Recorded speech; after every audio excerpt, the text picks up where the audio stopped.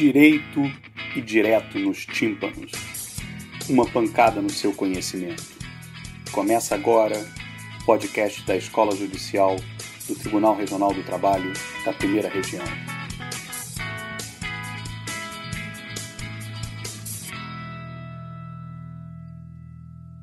Bem-vindos ao Direito nos Tímpanos, o podcast da Escola Judicial do Tribunal Regional do Trabalho da Primeira Região. Eu sou Roberto Fragali e hoje converso com Jacques Dadexki, professor visitante do Programa de Pós-Graduação em Sociologia e Direito da Universidade Federal Fluminense, Valdirene Silva de Assis, procuradora do Trabalho, atualmente oficiando na Procuradoria Regional do Trabalho no Estado de São Paulo, e Ana Paula Ciamarella, professora da Faculdade de Direito da Universidade Federal do Estado do Rio de Janeiro, a Unirio. Nosso encontro é uma iniciativa da Escola Judicial do TRT da Primeira Região, o TRT do Rio de Janeiro, e da Procuradoria Regional do Trabalho no Estado do Rio de Janeiro, para, celebrando o Dia da Consciência Negra, ampliar o debate em torno do racismo, da identidade negra, da igualdade de oportunidades no mercado de trabalho. Aqui, no Rio de Janeiro, 20 de novembro, Dia da Consciência Negra, é feriado estadual instituído pela Lei Estadual número 4007, de 11 de novembro de 2002. Aliás, um feriado que virou controvérsia jurídica, porquanto contestado judicialmente pela Confederação Nacional do Comércio, por meio de uma ação direta de inconstitucionalidade, que veio a ser extinta por ilegitimidade ativa apenas em novembro de 2017. No âmbito federal, o Dia Nacional da Consciência Negra foi inicialmente incorporado à Lei de Diretrizes e Bases da Educação Nacional por meio da Lei número 10.639, de 9 de janeiro de 2003, cuja justificativa sustentava que a cultura afro-brasileira estaria excluída dos currículos escolares e dos livros didáticos, o que resultaria no apagamento da verdadeira contribuição do povo negro na história do país. Mais tarde, a Lei 12.519, de 10 de novembro de 2011, reafirmou a celebração em 20 de novembro do Dia Nacional de Zumbi e da Consciência Negra, para além do espaço pedagógico. Foram efetuadas ainda tentativas por meio dos projetos de lei número 6.787, de 20 de novembro de 2013, e número 296, de 10 de fevereiro de 2015, propondo a inclusão do dia 20 de novembro entre os feriados nacionais brasileiros, sem qualquer êxito até aqui. Nos Estados Unidos, há uma celebração semelhante que é o Martin Luther King Day, comemorado sempre na terceira segunda-feira de janeiro, mas que enfrentou semelhante resistência para se tornar um feriado nacional. Eu gostaria, portanto, de começar esse nosso papo indagando aos nossos convidados como eles veem esse processo de institucionalização de um Dia Nacional da Consciência Negra e por que parece ser tão difícil a sua institucionalização como feriado nacional. Jacques, você se incomodaria de ser o primeiro a abrir nesse nosso papo? Certamente não, é, professor Roberto Fragalho, professora Ana Paula, posso iniciar tranquilamente esse, esse papo, que é informal, é, considerando essa primeira abordagem sobre o Dia da Consciência Negra como uma fase importantíssima na história do Brasil, especificamente na história dos negros brasileiros, dos afro-brasileiros. Eu perguntaria para mim mesmo, neste momento, mas por que Dia da Consciência Negra e não Dia da Consciência Afro-Brasileira? A resposta é clara, é evidente. É de que quando você observa, você faz uma pequena pesquisa semântica sobre os termos, sobre o termo eh, negro, você vai observar de que eh, é um termo, uma palavra eh, inventada eu diria, inventada pelo, pelos colonizadores espanhóis e atribuído aos escravos africanos que estavam nas Américas. Mas não apenas isso, não apenas isso. Né? Também tinha uma conotação negativa, ofensiva, de desumanização. Portanto, é impressionante de observarmos, isso que é fantástico, na minha opinião, em relação ao Brasil, é de que talvez seja o único país no mundo das Américas, o único país das Américas, que ressignificou o termo negro, sendo, sendo até ontem um termo ofensivo. Foi extremamente difícil no Brasil, a própria comunidade afro-brasileira, de aceitar o uso do termo negro, porque ele tem, tinha, de fato, uma conotação muito negativa, ofensiva, desumanizante. Observando América do Norte e outros países das Américas, o termo negro, aos poucos, foi jogado para o lixo, para a lixeira. Nigger. Não? O negro. Nos Estados Unidos, o próprio James Baldwin, o famoso escritor eh, eh, norte-americano, inclusive eh, homossexual, declaradamente homossexual, grande militante, amigo de Martin Luther King, rejeitava o termo negro. Rejeitava. Rejeitava na medida em que se tratava de uma atribuição do colonizador, do colonizador em relação aos escravos africanos nas Américas. Então, portanto, esse primeiro elemento, creio que seja bastante interessante, é de observar de que no Brasil a, o movimento negro conseguiu ressignificar de uma forma dialética, hegeliana, indo do negativo para o positivo, ao ponto que hoje usamos no século XXI tranquilamente o termo negro, enquanto que nos, na década de 80 até mesmo a própria comunidade afro-brasileira rejeitava esse uso, rejeitava esse uso. Muito bem. Então esse é o primeiro primeira fala que eu diria. Mas a segunda é de observarmos que, apesar de tudo, não, de modo crítico, de que é, é, o Dia da Consciência Negra é o ponto de iceberg, no iceberg no Brasil, na medida em que se trata de, um, de, um, de, um, uma conquista no espaço cultural e simbólico no Brasil. Hum? Comparando, por exemplo, as ações, as ações afirmativas, que tem maior enraizamento no que diz respeito ao poder, o acesso à ascensão social e o acesso ao poder econômico e social. Então, é, é, é, nesse sentido, o simbólico também é, importantíssimo. Importantíssimo. Veja, uma ponta, eu diria, uma ponta de uma revolução silenciosa que está ocorrendo no Brasil. Isso seriam as minhas primeiras divagações. Depois da fala do Jacques, você gostaria de complementar, ou seja, é, tem, tem essa, essa, toda essa trajetória, essas, essa, esses aspectos que o Jacques levantou, ou seja, a ideia de um dia nacional, da, um dia da consciência negra e não do, do, da, da, consciência afro-brasileira, né? É, como é que você reage? O que, que você me diz desse, desse primeiro, desse, dessa, primeira, dessa primeira observação do Jacques? Eu acho que gente, esse essa ressignificação do termo né, no Brasil, ela ganha é, importância porque o, movimento de fato conseguiu se apropriar desse termo e dar um novo sentido a ele, né? Mas eu acho que ter uma data comemorativa também é muito simbólica. Eu acho que não tem, a gente não tem que deixar de lado o aspecto de que a data que marca isso, que relembra isso, que relembra a ideia de conscientização e do reconhecimento também, porque a gente passa por um processo de reconhecimento dessa identidade.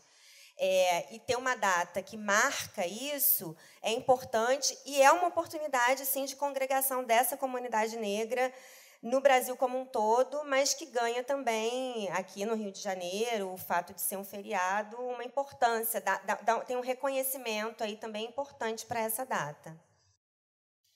É, ao mesmo tempo que há necessidade de que se tenha um momento de fato em que a sociedade pare, pensa, pense e reflita sobre o seu passado, sobre a forma como ela é composta, constituída e sobre tudo o que representa é, cada grupo étnico que está ali na origem, né, na, na formação do nosso da nossa sociedade, da nossa nação é, é também doloroso imaginar que a gente precise né, de um dia para discussão é, sobre consciência é, negra ou racial, quando isso, em verdade, deveria ser algo muito natural e algo assentado e, e, e bem vivenciado né, por todas as pessoas.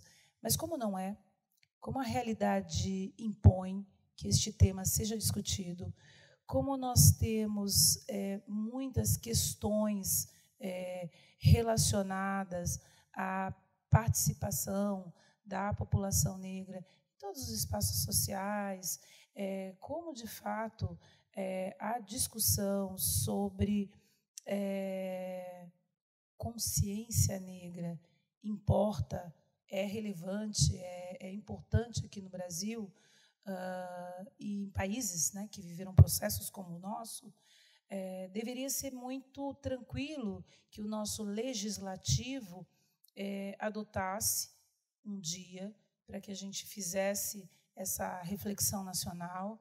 Deveria ser muito natural que é, a sociedade compreendesse que sim, esse dia é um dia importante e ele é um dia é, não único, né, mas um dos dias em que este tema precisa ser é, objeto de uma reflexão mais, mais detida.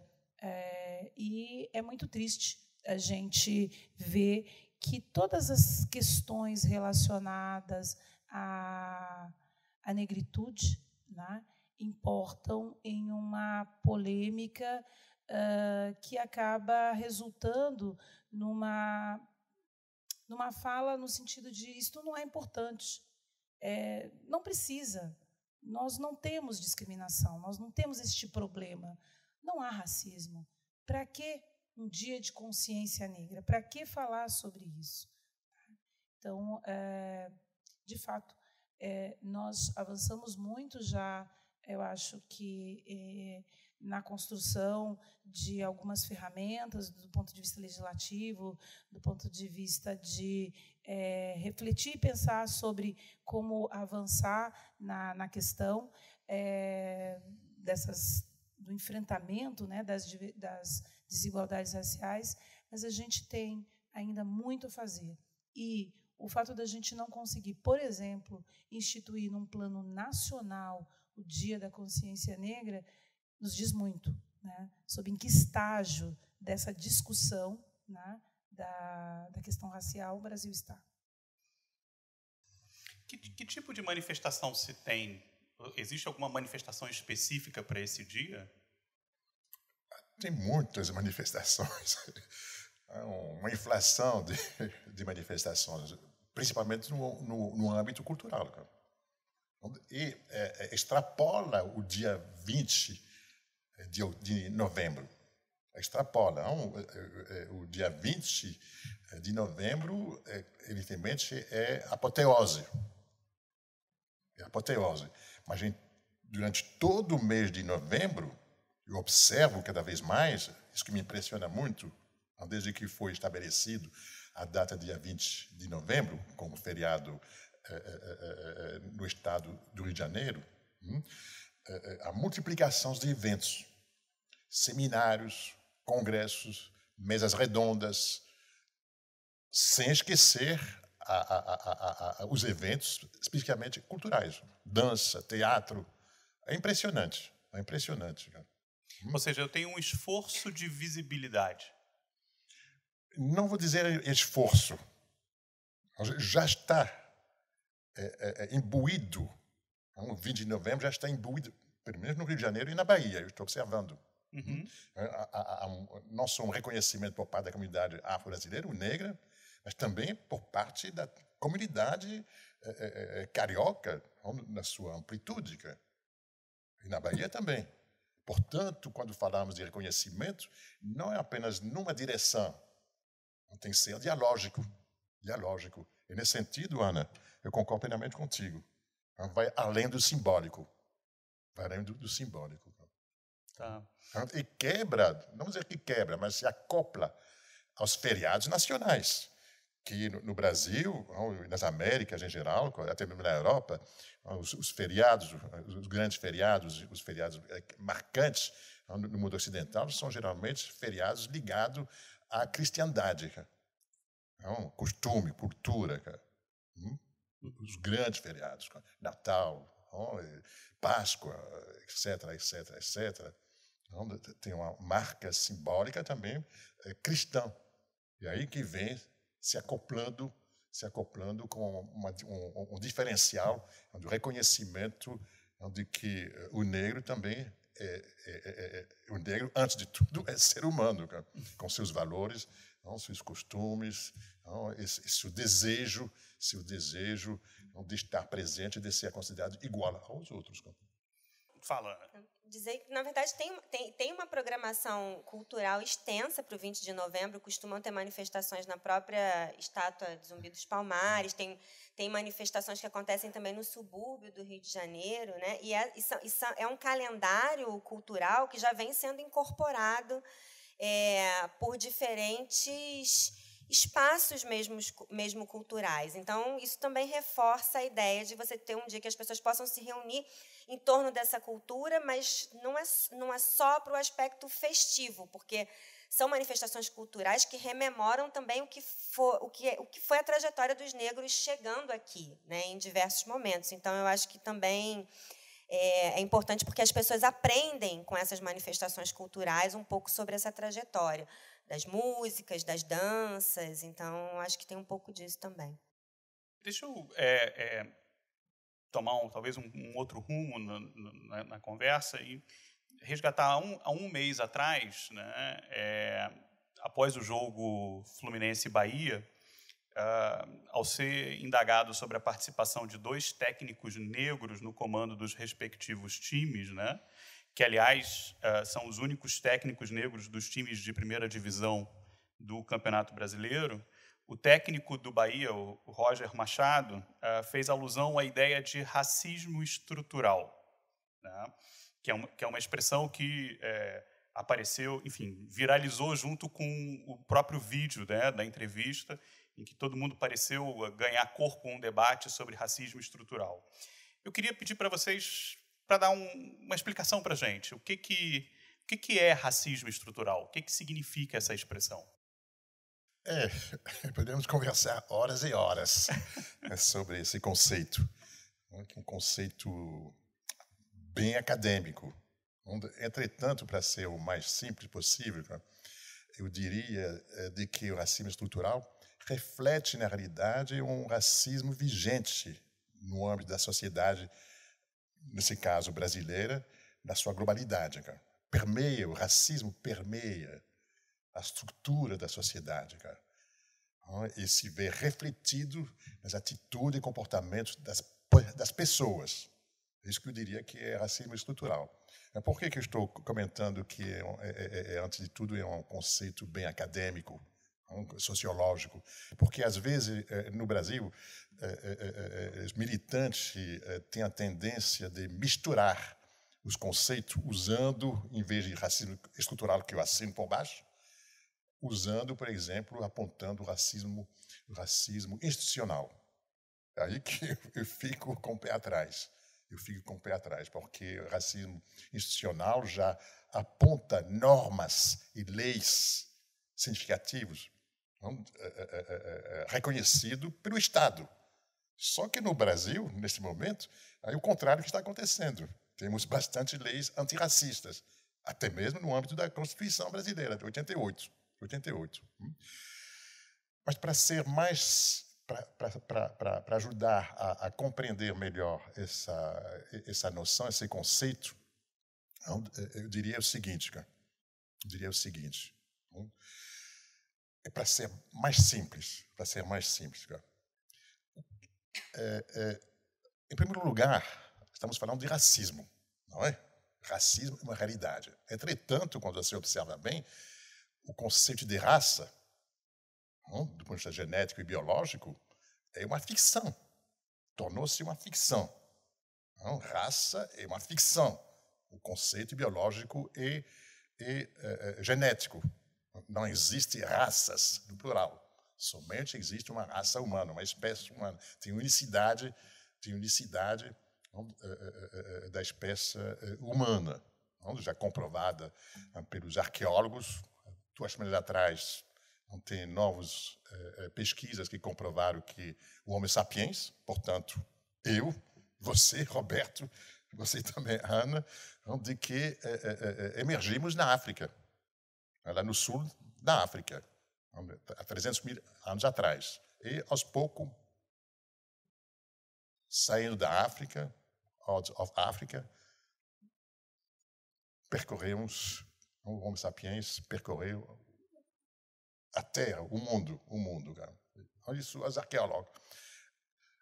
Mas do ponto de vista genético e biológico, o projeto Genoma Humano, do ano 2000, apontou de que os seres humanos são, geneticamente falando, iguais em 99,99, ,99, o DNA.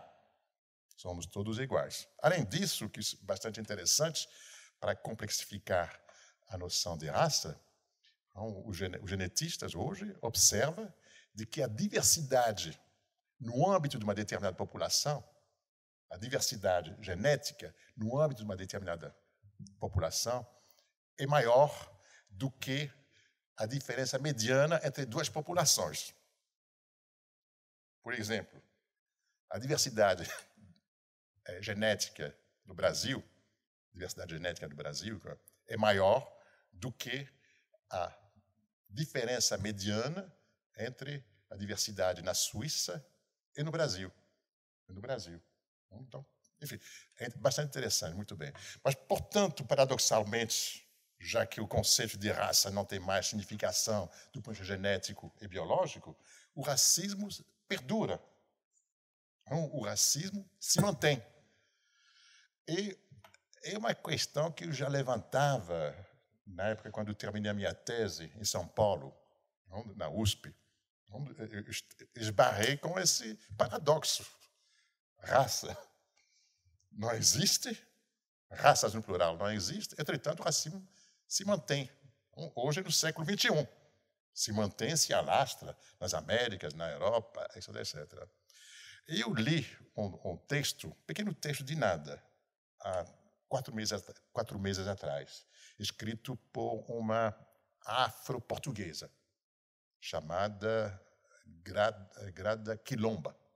Pequeno livro, né, que é, é, é, que é a síntese da tese dela, que ela apresentou numa universidade alemã, acho que foi na Universidade de Berlim.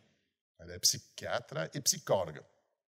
Ela finalmente me deu a pista, ou pelo menos a chave, da melhor compreensão do porquê que o racismo perdura nos dias de hoje. Usando, usando o conceito, pelo menos é, uma noção, a noção de atemporalidade. Atemporalidade. O que é isso? Esse, o, que, o, que, o que ela quer? dizer por essa noção de atemporalidade. Simplesmente de que o racismo no século XXI, que se mantém, perdura, tem as suas raízes no período colonial e no período da escravidão. Comportamentos, ofensas racistas daquela época, que aos poucos permearam a população daquela época transmitindo para gerações futuras e se atualizando no século XXI.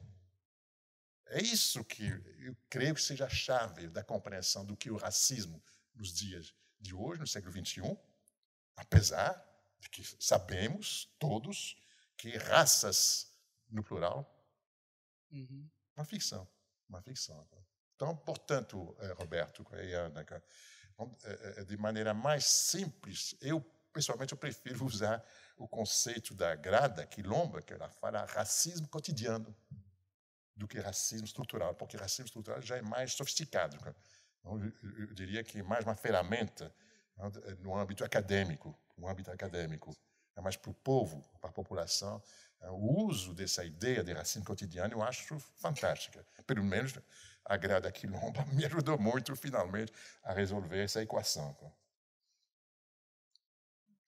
Eu, eu acho que essa, essa, esse conceito da grada é, é, interessante porque ele traduz um pouco isso que o professor Jacques mencionou, que o racismo estrutural ele vai se expressar em algumas práticas, né? É, que não necessariamente configuram o que a gente chama de discriminação direta, né? ou seja, numa injúria racial, que é o que fica mais claramente evidente como o que a gente chama de racismo ou para a população em geral, Tá claro que há racismo quando há um xingamento, né? É, falar dessa sutileza do racismo estrutural e de como é que isso permeia, inclusive, as práticas institucionais, eu acho que é o ponto delicado para a gente pensar. E, e, isso só se revela para a gente quando a gente olha para alguns dados, e aí a gente não tem como fugir de olhar para as pesquisas acadêmicas, né? É, pros, e para os dados que revelam, inclusive, por exemplo, como é que as instituições atuam em relação a pessoas negras e brancas. E aí, para a gente pensar na ideia do judiciário, por exemplo, a Defensoria Pública fez uma pesquisa recente sobre quem é que o judiciário solta, solta e quem é que ele mantém preso nas audiências de custódia. E quando a defensoria recorta esse dado por raça, ela percebe que, em geral, as pessoas negras, quando são levadas para as audiências de custódia, são mantidas presas e as pessoas brancas elas são liberadas nesse momento da audiência. Então, eu acho que é, traduzir um pouco o que, que é racismo estrutural e como é que isso se evidencia nas práticas, inclusive nas práticas de algumas instituições, né, é, são os dados que vão mostrar isso para a gente, assim, como é que há um tratamento desigual, embora não se diga isso, ah, estou prendendo ou estou soltando porque é negro ou porque é branco, mas tem alguma coisa aí para a gente pensar que chama a atenção da gente. Quando a gente olha, por exemplo, os dados de saúde, né, que é um tema do qual eu sou próxima também para a questão dos direitos reprodutivos e da violência obstétrica praticada contra as mulheres, né? Eu estou falando do espaço da saúde. A gente vai ter muito mais mulheres negras que morrem do que a gente fala de mortalidade materna ou que são vítimas da chamada violência obstétrica do que as mulheres brancas. Então, o que, que esse tipo de dado está querendo dizer para a gente? Né? É, que revela, de alguma forma, que esse racismo que estruturou a nossa sociedade, ele continua produzindo efeitos ainda que ele não seja mais institucionalizado do ponto de vista legal, ele impacta nas práticas, por exemplo, profissionais, institucionais e até, eu diria, né, no imaginário de uma parcela da população que está acostumada a ver pessoas negras em determinados espaços estranha quando elas ocupam algum espaço que, em geral, é, não era por elas ocupado até bem pouco tempo atrás. E a gente pode pensar na univers, nas universidades, nos espaços de poder, enfim, e, e, em, outros, em outros âmbitos também.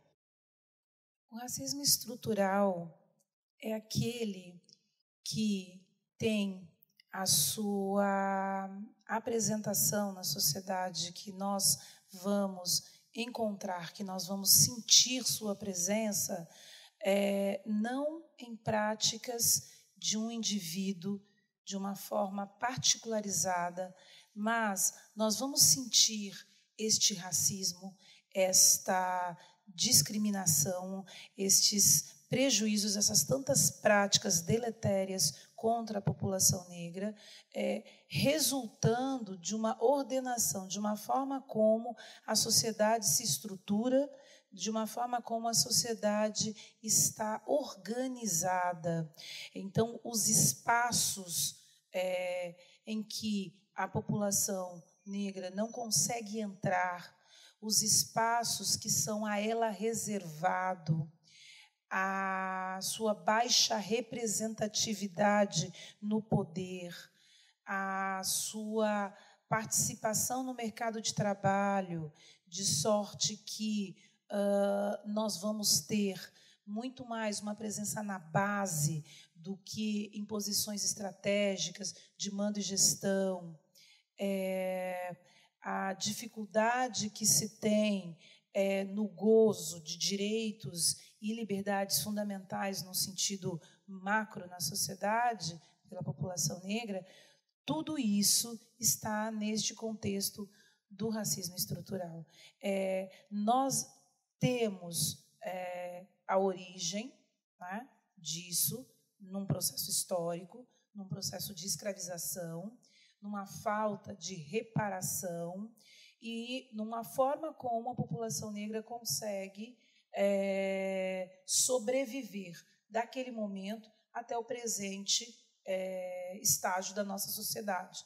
A forma como este grupo populacional vai sobreviver sem uma é, contrapartida estatal por aquele momento de tortura, de exploração, de crime lesa humanidade, é, e todos os estereótipos, todas as negativas de direitos, toda a marginalidade, marginalização, melhor dizendo, sofrida historicamente e que vai se sedimentando. Então, é normal né, não ter a presença negra em vários espaços.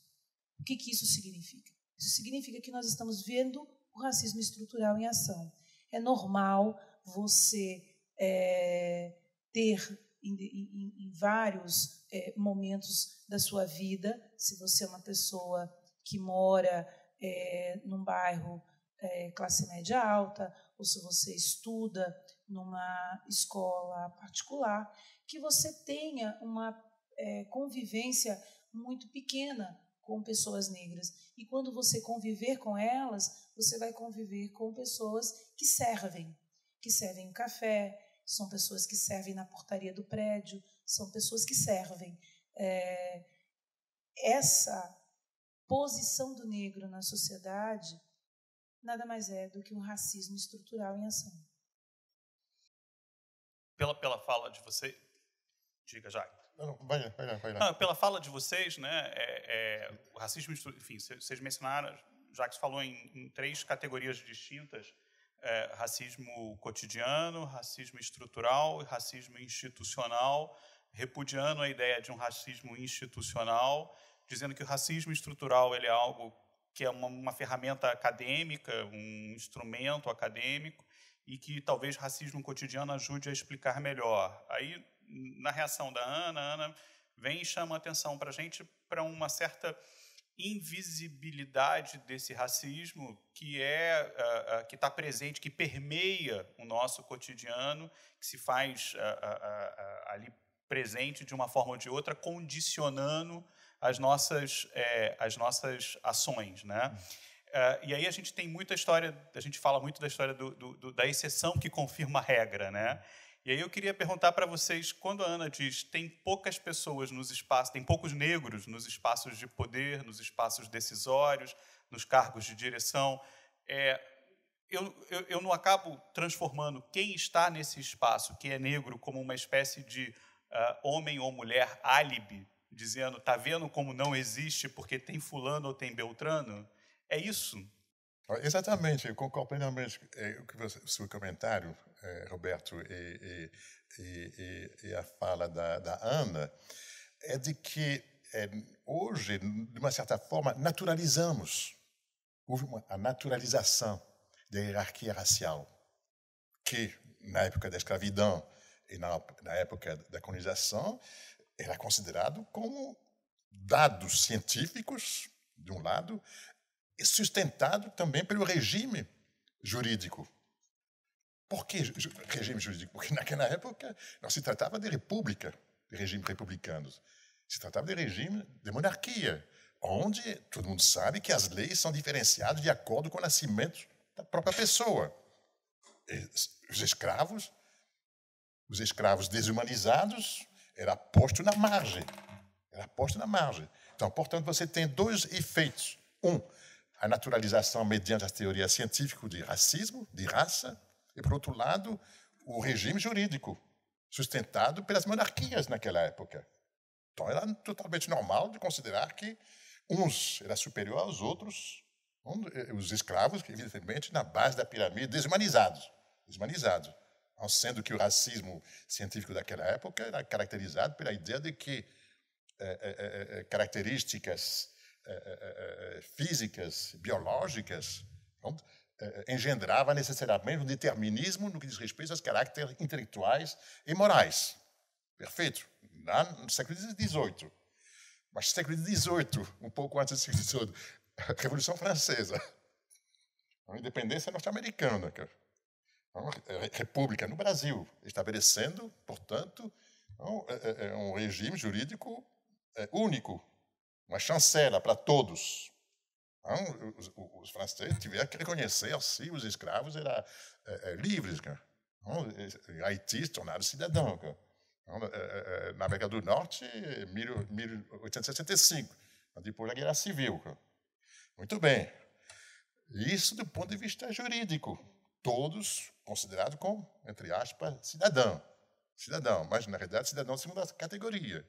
É é, é, essa ideia de que, teoricamente, todos somos iguais, a Declaração Universal dos Direitos Humanos, etc. Mas, na prática, como você estava falando, Ana, a situação é outra. A situação é outra. É que se reflete nessas ideias das teorias raciais do século XVII, XVIII, ainda hoje. Não foram naturalizados. São ideias que foram naturalizadas. É difícil de romper com essas ideias acaba se reproduzindo. Eu acho que tem dois, tem, dois é, tem um caso que eu acho que vale a pena a gente lembrar e também para quem depois tiver curiosidade de procurar. Tem um caso que chegou à Comissão Interamericana de Direitos Humanos, que é um caso conhecido como caso Simone Diniz, que é uma mulher que olha um anúncio de jornal para uma vaga de empregada doméstica, de babá, na verdade, e no anúncio, dentre as várias características que eram solicitadas, ah, jovem, para cuidar de criança e etc., tinha uma característica que era preferencialmente branca. E eu fico pensando que essa questão está tão naturalizada que alguém faz um anúncio de jornal, publica, né, sem nenhum constrangimento, um anúncio de emprego onde fala claramente que ela não aceitaria uma pessoa negra para trabalhar. E a Simone Diniz liga para esse número, diz que ela quer se candidatar, mas que ela é negra, e ela recebe exatamente a informação: olha, você não leu, você não leu o anúncio? Né? O anúncio diz preferencialmente branca. E ela procura a OAB de São Paulo, procura a delegacia para tentar denunciar esse caso. E ela encontra uma dificuldade por parte das instituições e das autoridades em como caracterizar isso como um racismo, já que não estava ali no bojo da injúria racial que a gente está tão acostumado dessa discriminação direta, né?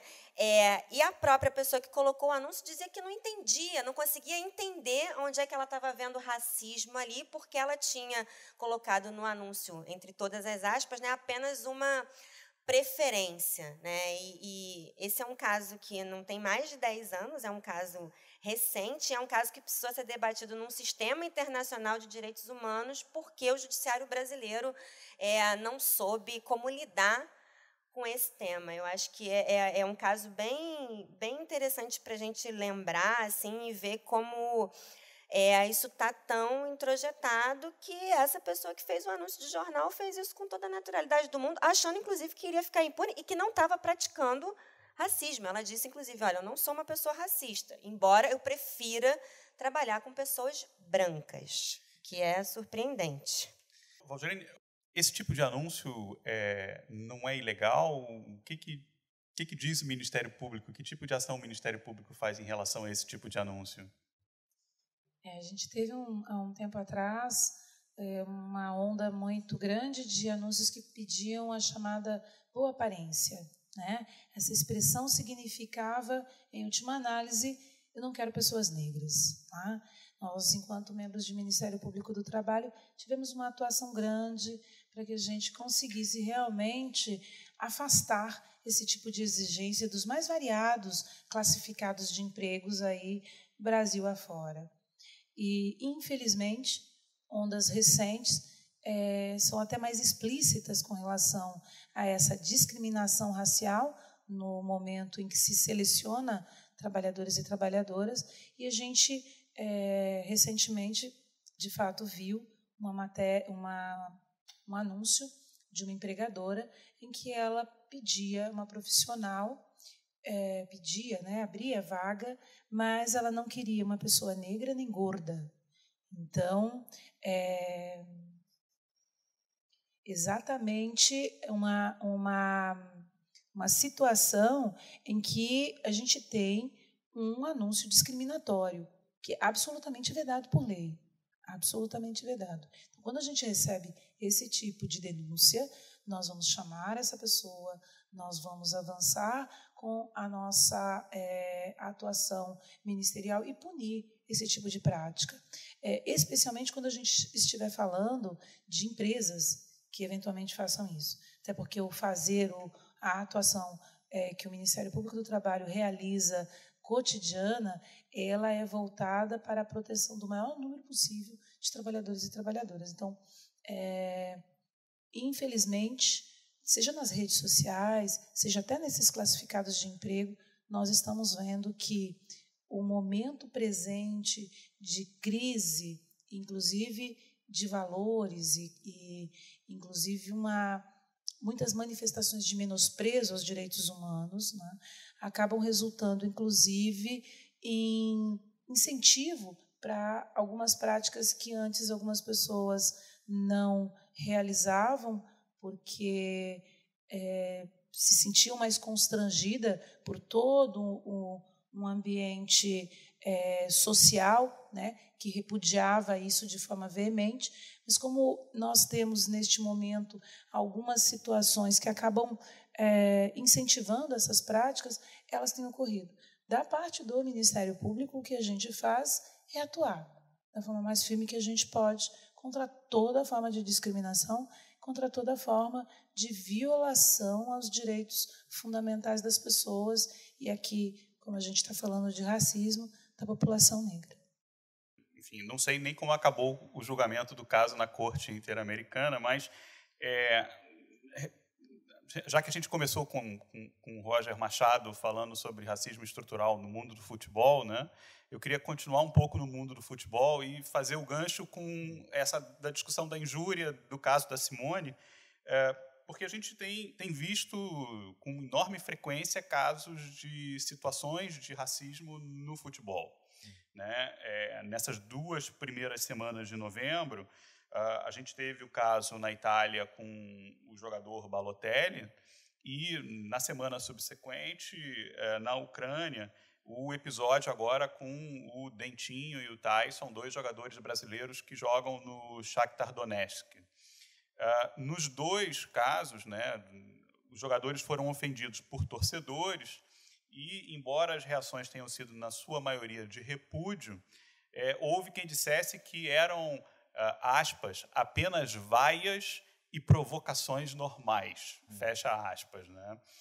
É, no final de semana passado, em Belo Horizonte, a gente teve um caso que virou manchete, que deu uma enorme repercussão, uh, em, quando, quando, dois torcedores uh, ofenderam um segurança com palavrões. Uh, um deles chega, inclusive, a cuspir no segurança e diz: olha, a aspas, né? Olha a sua cor, né? Fecha aspas. Ah, localizados pela polícia, um dos suspeitos declarou, aliás, os dois declararam não ser racistas, não serem racistas, uh, sendo que um deles declarou isso afirmando ter um irmão negro, amigos negros, além de pessoas negras cortarem o seu cabelo há 10 anos. Né? Uh, para minha surpresa, para nossa surpresa, o cabeleireiro foi localizado foi entrevistado na, no dia seguinte e uh, o próprio cabeleireiro disse que aquilo ali certamente aconteceu, aspas, no calor da emoção, coisa típica, fecha aspas, coisa típica do estádio, de um estádio de futebol. Né? Que os dois suspeitos sempre o trataram com respeito e que continuaria cortando o cabelo, uh, o cabelo deles, caso eles aparecessem como clientes no seu, no seu salão. Né? Aproveitando o gancho da sua, da, da, sua narrativa, Ana, do caso da Simone, é, o que, que vocês acham do episódio, das desculpas e do comentário do cabeleireiro? Né? O que, que tudo isso nos ensina sobre a condição do negro na sociedade brasileira? É. No que diz respeito do cabeleireiro, evidentemente, é, ele tinha uma ligação afetiva né, com, com, com, com os seus clientes. De uma certa forma, ele tinha que defendê-los. Eu entendo, eu entendo. Né, enquanto que é, é, cabeleireiro, era uma clientela, então tinha que defendê-lo. Mas no que diz respeito às, às outras questões, nomeadamente do técnico da, da Bahia, é isso? Uhum. Bahia do Fluminense, não? É, técnicos negros, os raros técnicos negros. Também tem Vanderlei. Esquecemos Vanderlei Luxemburgo, terceiro. terceiro, que, não, que, que, que sempre esquiva de entrar nessa temática, nessas polêmicas, o Vanderlei Luxemburgo, terceiro técnico. Mas, entretanto. É, é, é, é, mas é porque. A gente vai voltar a esse depois, Isaac, sim, mas é porque sim. é autodeclaração e ele não se autodeclara. Sim, sim, sim, sim, sim. Mas esquiva, ele esquiva também. Ele esquiva o tema. Ele esquiva o tema, cara.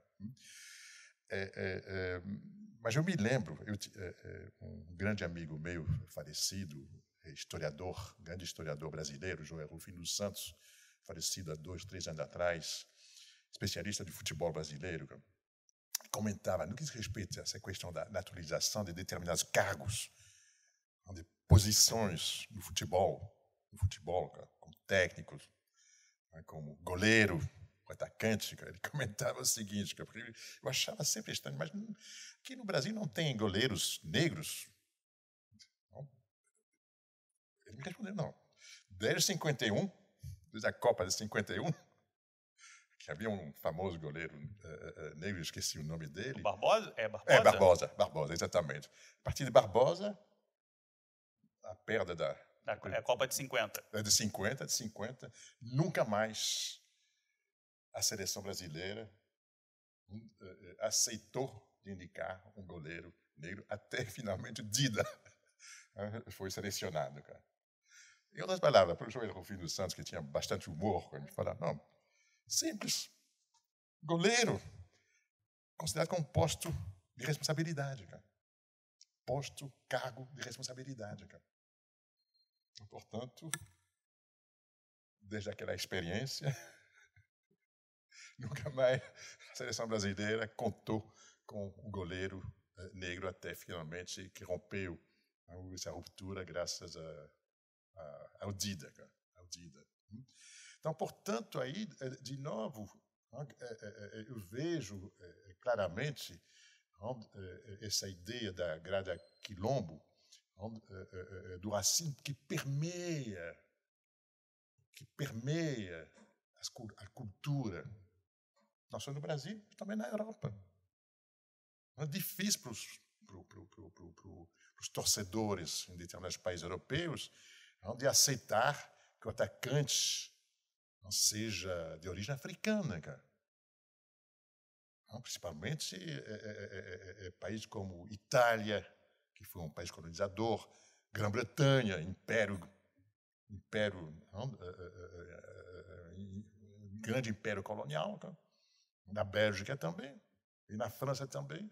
Então sempre fica difícil para os torcedores né, de aceitar que um, um, um, jogador que não seja francês ou italiano não, uh, uh, uh, seja, seja escalado não, a, a, um posto, não, a, a, uma posição de destaque.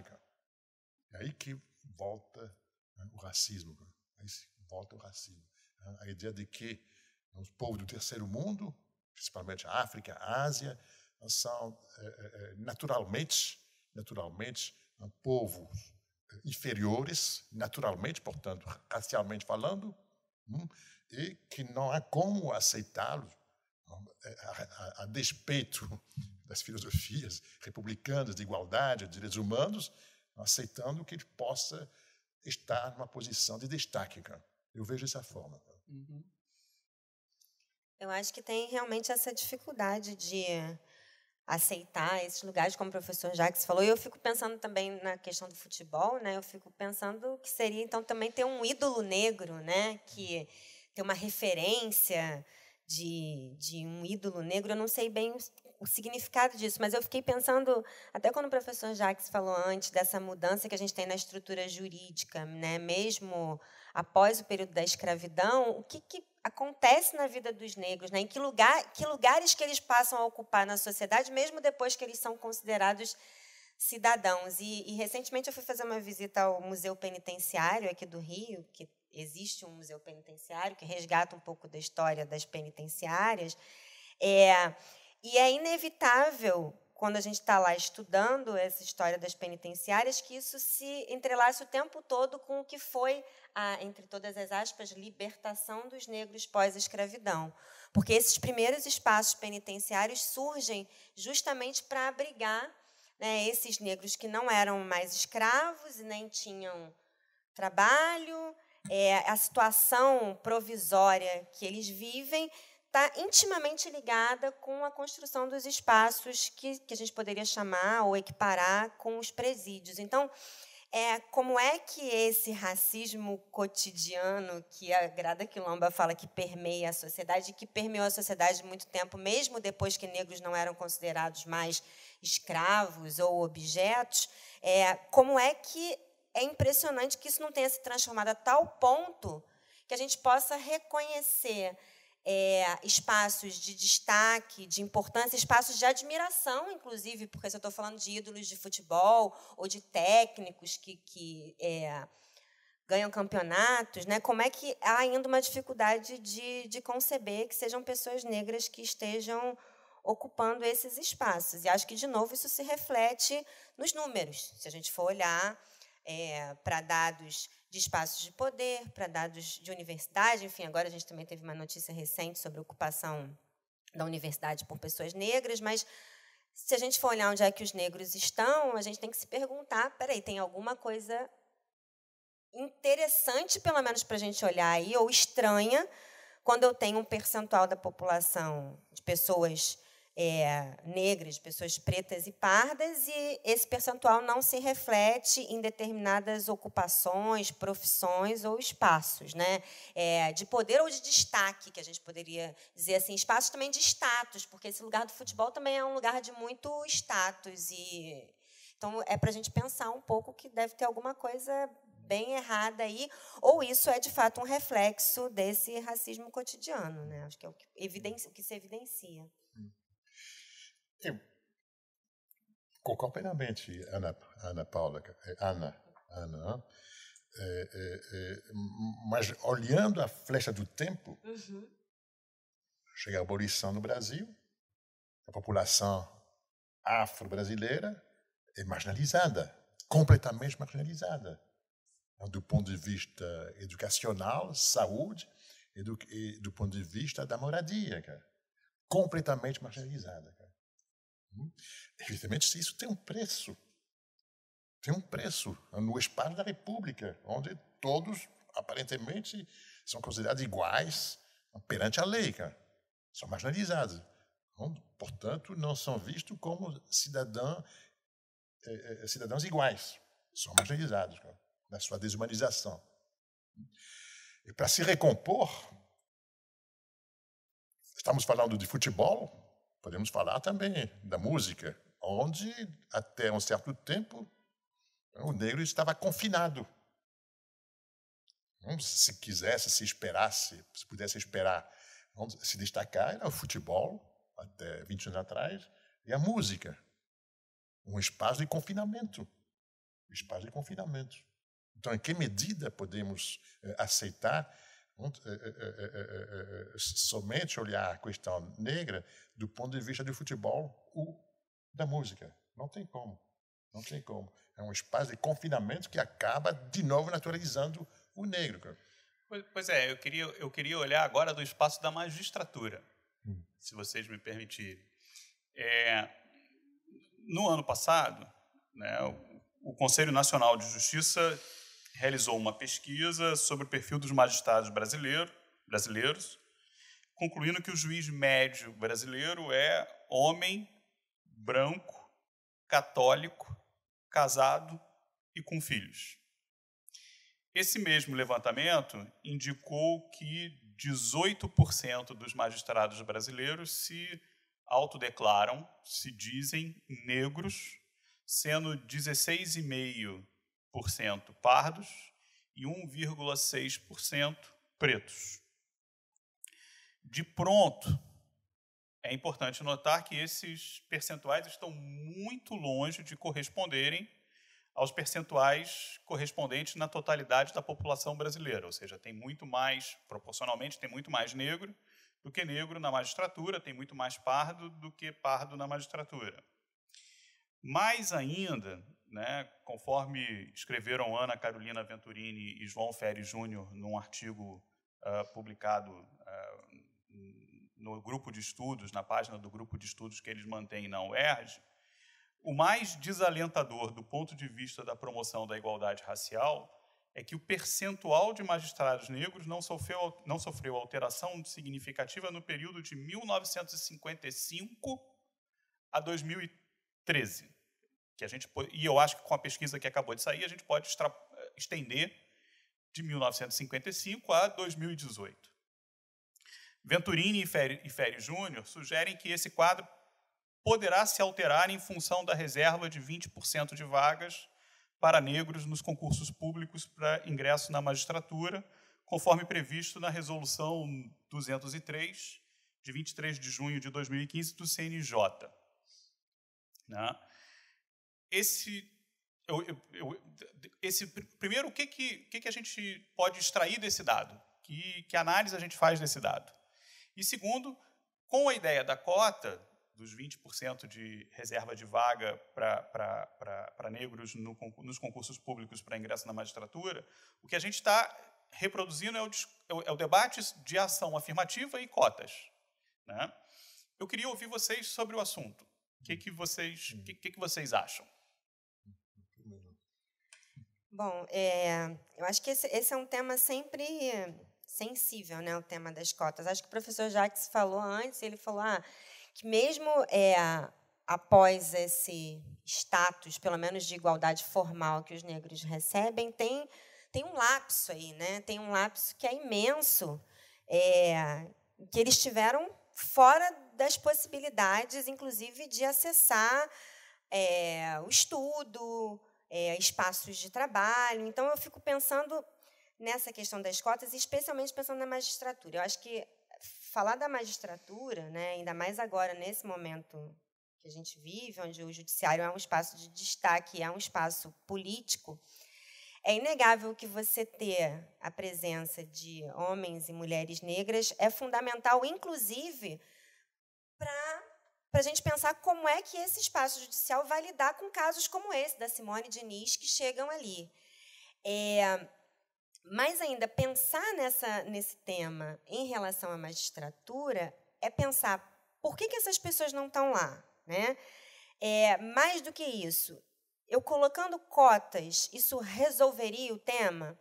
Recentemente, o concurso da Defensoria Pública, só para pegar um outro exemplo, colocou cotas para pessoas negras e não conseguiu preencher essas vagas. É, e isso gerou uma polêmica no concurso. E aí eu acho que as cotas, elas são muito importantes e muito fundamentais, inclusive para estimular que essas pessoas participem.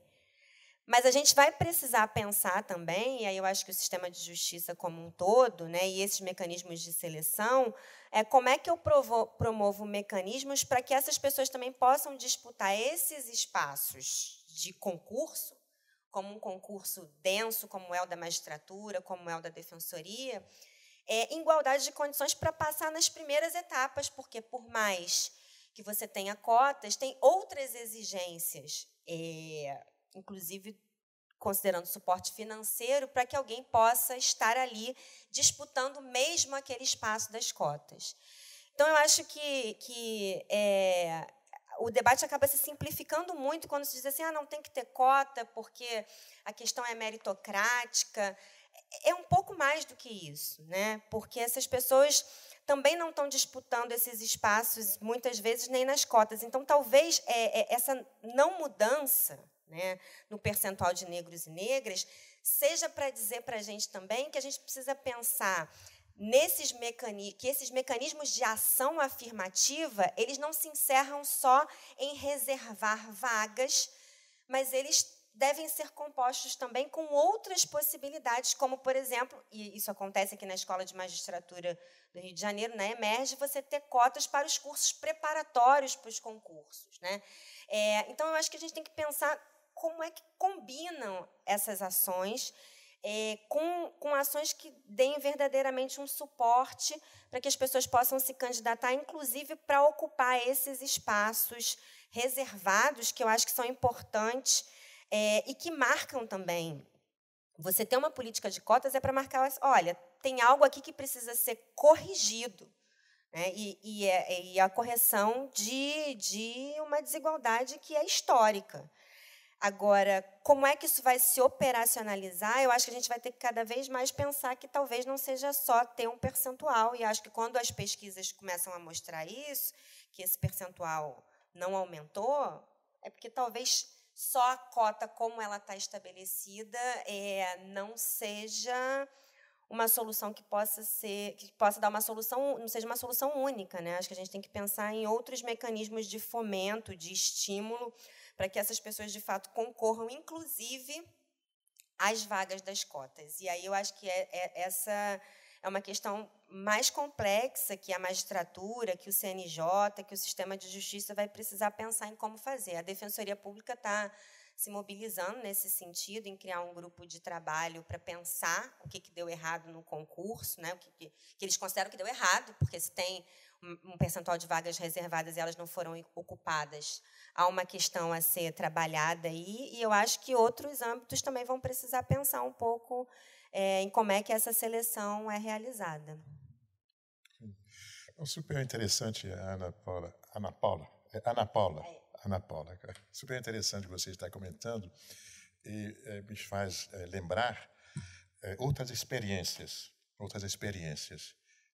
Quando você comenta que a ação afirmativa em si não possa, não permita, nesse momento, é, é, é instigar o aumento de candidatos negros, afro-brasileiros, no espaço dos concursos da magistratura. Eu concordo plenamente contigo. Mas por quê? Por quê? Mas simplesmente, na minha opinião pessoal, porque as comunidades afro-brasileiras, as comunidades afro-brasileiras não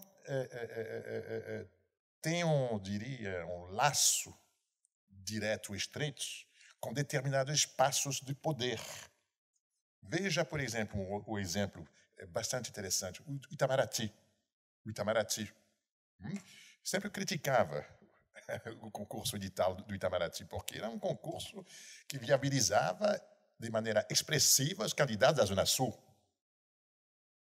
Perfil do edital do Itamaraty. Entretanto, o Itamaraty, logo eh, no início do século XXI, estabeleceu eh, eh, formações específicas para, de, para candidatos afro-brasileiros, para candidatos negros, mediante a alocação de bolsas de estudos no Instituto Rio Branco. Isso favoreceu, com esse mecanismo, a entrada, o interesse por parte de candidatos eh, negros, não, eh, eh, em função da, da, possibilidade de entrar na carreira diplomática.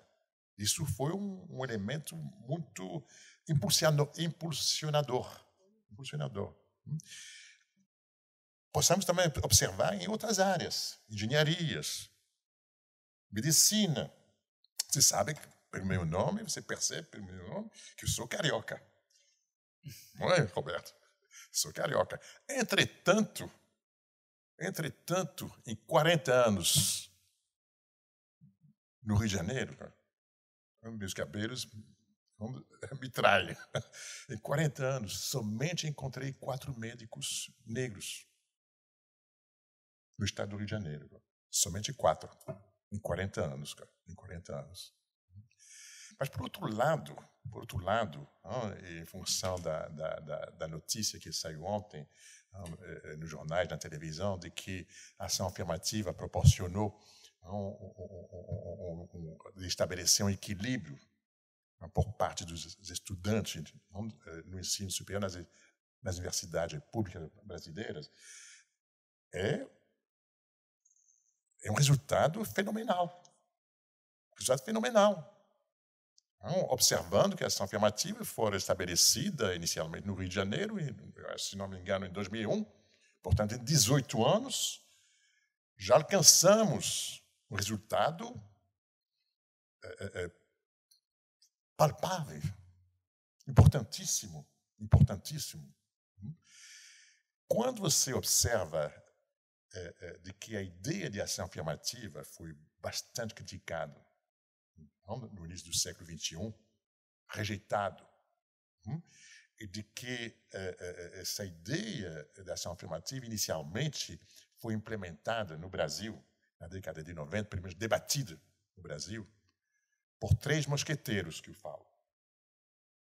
Carlos Alberto Medeiros, a partir dos anos 90, a partir do seminário em São Paulo, na Secretaria de Cultura do, do município de São Paulo, jornalista naquela época, virou, se tornou mestre em Sociologia e Direito pela UF, nesse momento doutorando eh, em História comparado, comparado. Carlos Alberto Medeiros, Coronel Jorge da Silva, jurista do Rio de Janeiro, o terceiro mosqueteiro, Édio Silva Júnior, que acabou, alguns anos atrás, sendo nomeado como secretário de Estado da Justiça de São Paulo. Estou falando de mosqueteiro, mas na realidade sabendo que os mosqueteiros eram quatro. Quem era esse quarto mosqueteiro? Frei Davi, iniciando trabalho fenomenal na PUC Rio de Janeiro. Quando eles iniciaram esse debate no seio da, do movimento negro, um círculo muito restrito, foram muito criticados. Foram considerados de direita. Considerados de direita, nos anos 90. Entretanto, continuaram convencimento, convencimento, até chegar no ano 2000, Durban, conferência de Durban, que Ivanir dos Santos, famoso hoje, Babalaú, Ivanir dos Santos, todo mundo conhece, também era contra, mas ele é muito esclarecido espiritualmente, convidou o presidente do IPEA, Roberto Martins, para conversa, para apresentar um resultado de uma pesquisa que tinha sido feita pelo CEAP em colaboração com a UF, no ano 2000, mostrando, no ano 2000, de que a ação afirmativa era sustentada por grande parte da população brasileira. Roberto Martins, presidente da IPEA, levou pesquisa, o relato, Fernando Henrique, que iniciou, que iniciou a caminhada. Iniciou a caminhada. Certamente os nossos mosqueteiros daquela época nunca poderiam ter imaginado que chegando em 2019, esses resultados concretos, palpáveis, onde tem elementos a ser considerados. Cara. Onde que a Ana Paula está comentando aí.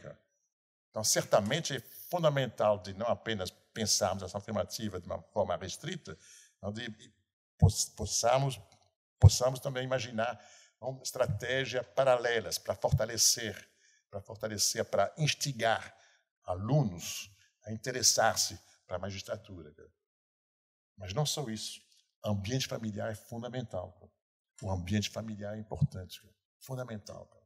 Se a própria família não instiga, não impulsiona os, os seus filhos a interessar-se para medicina, engenharia, não, é, é, diplomacia, ainda teremos muito trabalho, muito caminho a, a, a, a realizarmos para chegarmos a um resultado mais satisfatório do ponto de vista geral.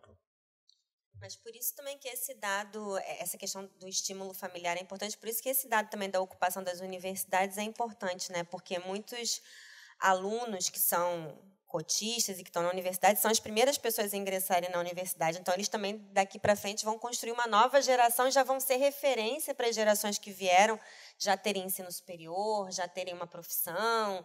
É, e isso certamente também pode abrir portas para o interesse nesses outros espaços, né? ainda que sejam espaços e que são espaços também muito elitizados ainda e eu acho que essa, essas iniciativas como essa do Instituto Rio Branco é um, um ótimo exemplo para o sistema de justiça e para o CNJ pensar como incrementar as cotas, né? Uhum. incrementar é, que as pessoas de fato disputem essas vagas das cotas e estejam, estejam, estejam preparadas para isso.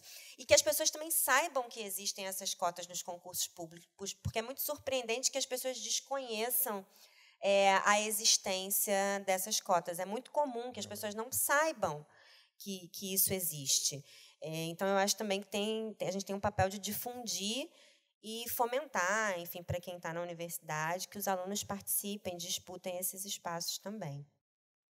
Valdirene, você, é, você ouviu agora há pouco uh, Jacques e Ana comentarem a, a circunstância da magistratura, quando a gente levanta esses dados de que na magistratura eu teria, né, segundo o último levantamento, aí 18% ah, de presença de negros, ah, sendo 16,5% pardo e 1,6% de preto.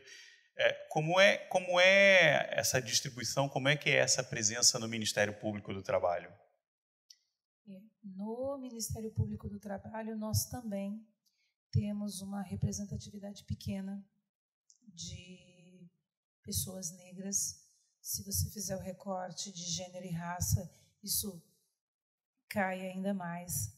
É, e não obstante ser um ramo de Ministério Público, por exemplo, que já conseguiu, é, no ingresso, a paridade de gênero.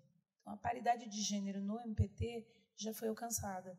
Isso significa que ele é um ramo afeito realmente a essa preocupação com, com a diversidade. Mas a diversidade étnico-racial ainda não está lá, ainda não está é, é, é, representada. É, quando a gente pensa nessas carreiras né, de Estado, é, é muito importante a gente entender que, mesmo as cotas raciais, que são recentes para as carreiras, o primeiro ramo de Ministério Público que vai é, conseguir realizar um concurso com reserva de vagas raciais é o MPT, né? Mas é, as pessoas não chegam, né? poucas pessoas chegam. E poucas pessoas, portanto, acabam também conseguindo gozar das vagas. É, internamente, a gente tem discutido muito isso, e para nós existe uma. Inclusive, algumas iniciativas que são espontâneas de membros, mas que isso deveria ser algo uh, institucionalizado. É, preparação para o concurso, preparação para o nosso concurso, preparação para essas carreiras de Estado. Né? É uma forma que a gente tem de tentar aproximar, de tentar trazer as pessoas é, para esta é, atividade que é essencial ao Estado e que acaba ocorrendo com sem representatividade negra, né? E aí eu, eu até digo, é, você ter executivo, legislativo, judiciário e Ministério Público sem presença negra significa dizer que você tem o mando do país é, por uma mão branca, dirigido a uma maioria de pessoas negras. Que você tem um legislativo que legisla, que diz o que deve ser feito, mas que isto não conta com uma efetiva participação dessa população, que é apenas destinatária da lei. E que você ter um judiciário também que não tem essa representatividade, significa dizer que entre aqueles que operam o direito, que dizem ao final, né, quem tem a razão num processo, por exemplo, quem faz isso não é negro. Mas quem sofre, por exemplo, as consequências de um processo penal, na sua maioria, é a população negra.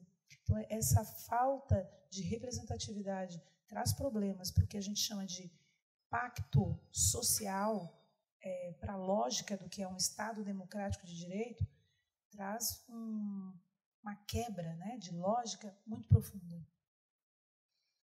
Vocês falaram na recente notícia, né, na, na, divulgação da pesquisa do IBGE, que uh, saiu ontem, uh, dizendo que pela primeira vez os, os negros são, maiorias, são maioria na, na, na universidade pública, uh, com uma proporção de 50,3% contra 48,2% que se autodeclaram brancos, né? Uh, num processo evolutivo em relação àquilo que começou com a ação afirmativa lá atrás, dizendo temos que aumentar a participação e essa, esse aumento proporcionou essa nova circunstância uh, de uma mudança e de uma maioria, talvez um retrato mais próximo daquilo que é a distribuição da população total do país, né? Mas é, vocês também fazem, é, assim, observam a dificuldade que não se trata apenas de dar o acesso, mas de criar mecanismos que possibilitem o acesso, é, que possibilitem a, a, a, disputa no acesso, que possibilitem a permanência, porque eu também devo ter, imagino que uma alta taxa de evasão de quem não consegue chegar até o final do percurso, e também é, um, uma taxa, assim, um, mecanismos que possibilitem uma taxa de êxito após o acesso e a realização do percurso. Né? Uh, nesse sentido, uh, uh, alguns dados me parecem interessantes, eu acho que a gente poderia conversar um pouco sobre eles. Uh, o, Ministério Público do Trabalho, apoiado pela Organização Internacional do Trabalho, a OIT, ah, montou um, um observatório de, da diversidade e da igualdade de oportunidade, que monitora a situação do mercado de trabalho e, uh, conforme dados que uh, eles apuram uh, a partir da Relação Anual de Informações Sociais, a RAIS, de 2017, a remuneração média para o município do Rio de Janeiro, a remuneração média de negros é de R$ 2.300 e a remuneração média de mulheres negras é de R$ 2.200, né? ou seja, uma média que estaria abaixo da média nacional, da média da, da, da, do município uh, pensado globalmente ou olhado globalmente. Além disso, é, segundo o censo demográfico de 2010, o percentual de negros em cargos de direção é de 26,1%, ou seja, eu também tenho a mesma discrepância em relação à a, faixa, da, a faixa da, é, total da população. É, a mesma pesquisa que vocês estão noticiando, que chama a atenção para essa reversão e para uma presença ma, maior de negros, verificou que os negros com diploma de ensino superior ganham 45% menos do que a população branca. Né? Como é que a gente. Que mecanismos a gente cria? Como é que a gente combate isso? Porque a, a ação afirmativa ela combate a porta de entrada da universidade. Mas como é que a gente combate lá no mercado de trabalho? Como é, quais são as mudanças? O que, que a gente pode fazer no mercado de trabalho para mudar essa situação? É super complicado, né? Super complicado. Cara. são as distorções, as distorções é, é advindas desde século passado, né? e para ser revertidas é, é, é, muito complicado, muito lento. Mas tem, tem, tem é, é, é organizações, ONGs que fica que fica bastante atenta a, a, a, a esses mecanismos perversos de que mulheres, não ganha menos, não, uh, uh, uh, negros, não, do, do ponto de vista étnico, racial, também ganha menos. E essas ONGs, como por exemplo Etos, de São Paulo, de São Paulo, tente arregimentar, arregimentar as grandes empresas a ficar atento não apenas para a questão da diversidade, questão da diversidade, que é um conceito que eu gosto muito porque é um eufemismo a, a, a, que leva eh, eh, eh, as pessoas a, compreender melhor que a sociedade é formada por uma multiplicidade de indivíduos, hum, em termos geral mesmo, é, é, é um eufemismo é fácil a ser compreendido, mas entretanto, entretanto, esbarra ainda nessas questões estruturais. Essas questões estruturais que faz com que mulher ganhe menos que homem, ah, o homem negro ganha menos que o homem branco, a mulher negra ganha menos que o homem negro. Ainda tem um trabalho eh, importantíssimo a ser realizado.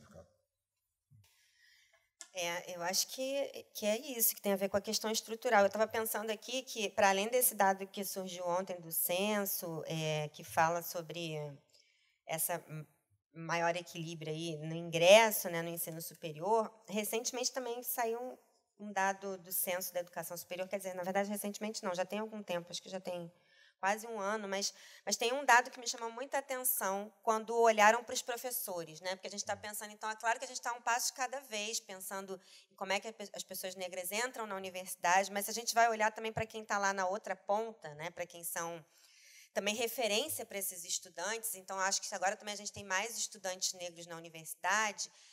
Quem esses estudantes encontram como referência? E tem um dado do Censo da Educação Superior que mostra que apenas 16% dos professores universitários de todo o Brasil, de universidades públicas e privadas, são negros. Tem um dado que me espantou mais ainda, porque me toca particularmente, que existem apenas 682 mulheres negras doutoras ocupando o cargo de professora em dedicação exclusiva nas universidades públicas.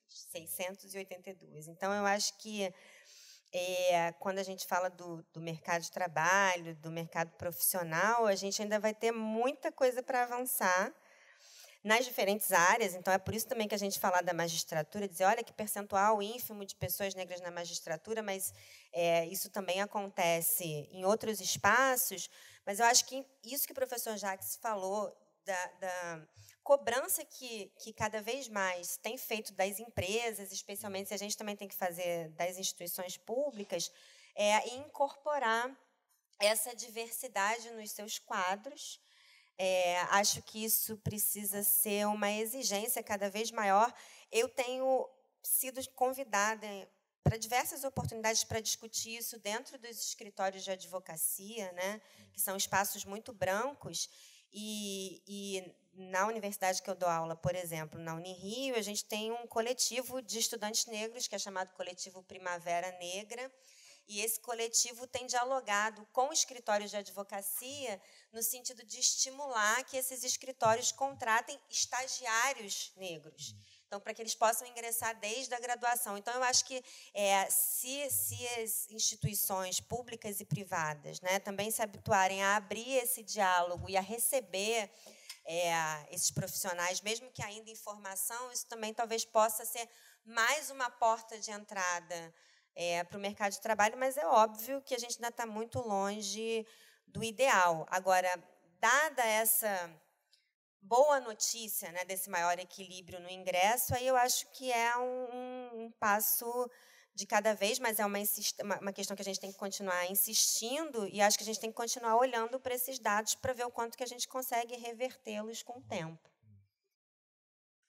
Ana, eu queria aproveitar, você falou em né, que se surpreendeu com um dado estatístico de que são apenas 682 professoras negras nas universidades públicas, né, doutoras que ocupam esse tipo de, de, de cargo, né, de função. É, os dados uh, do Observatório da Diversidade e da Igualdade de, opor de Oportunidade, que eu já mencionei, né, uh, chamam a atenção que, uh, conforme o Censo Demográfico de 2010, haveria 118 mil e 700 mulheres negras de 18 a 64 anos de idade trabalhando como empregadas domésticas. Né? E aí me chama, hum, me chama a atenção esse contraste entre 682 professoras doutoras e 118.700 mulheres negras de 18 a 64 anos de idade, eu repito, trabalhando como empregadas domésticas que, aliás, é um mercado de trabalho essencialmente feminino e negro. Né? Eu queria uh, pegar o contraste desses números né, e pedir para a Valdirene fazer um comentário sobre quais são as dificuldades que as mulheres negras enfrentam né, no mercado de trabalho. É possível pensar em medidas, em ações compensatórias que possam atendê-las diretamente?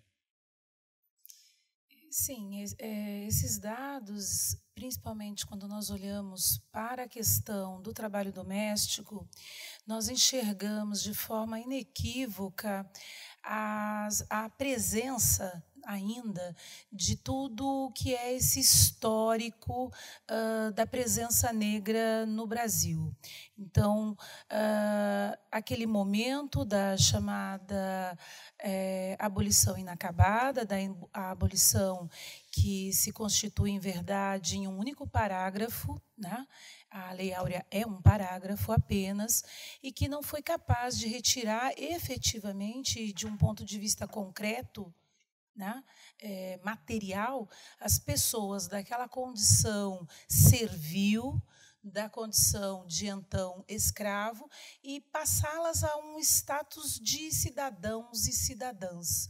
As pessoas é, passam a viver de forma é, marginal, tendo que sobreviver é, à sua própria sorte, sem nenhum tipo de é, política estatal inclusiva, e isso é, de fato, o grande é, motivo do, da situação social que vivemos hoje.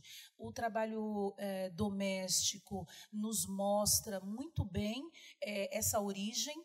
Né? E essas mulheres que antes estavam é, nas senzalas ou que estavam nas, nas cozinhas dessas grandes fazendas com o processo de abolição, acabam tendo que sustentar suas famílias, acabam tendo que é, responder pelo sustento desses núcleos familiares e vão é, ocupar, então, os lugares de cozinha, é, lavadeiras de roupa, é, entre outras funções dessas dos cuidados domésticos, e isso ainda é um, um fazer que muitas mulheres negras precisam desempenhar, não que este fazer tenha nenhum demérito, mas ele não é muitas vezes uma escolha, e aí está o problema.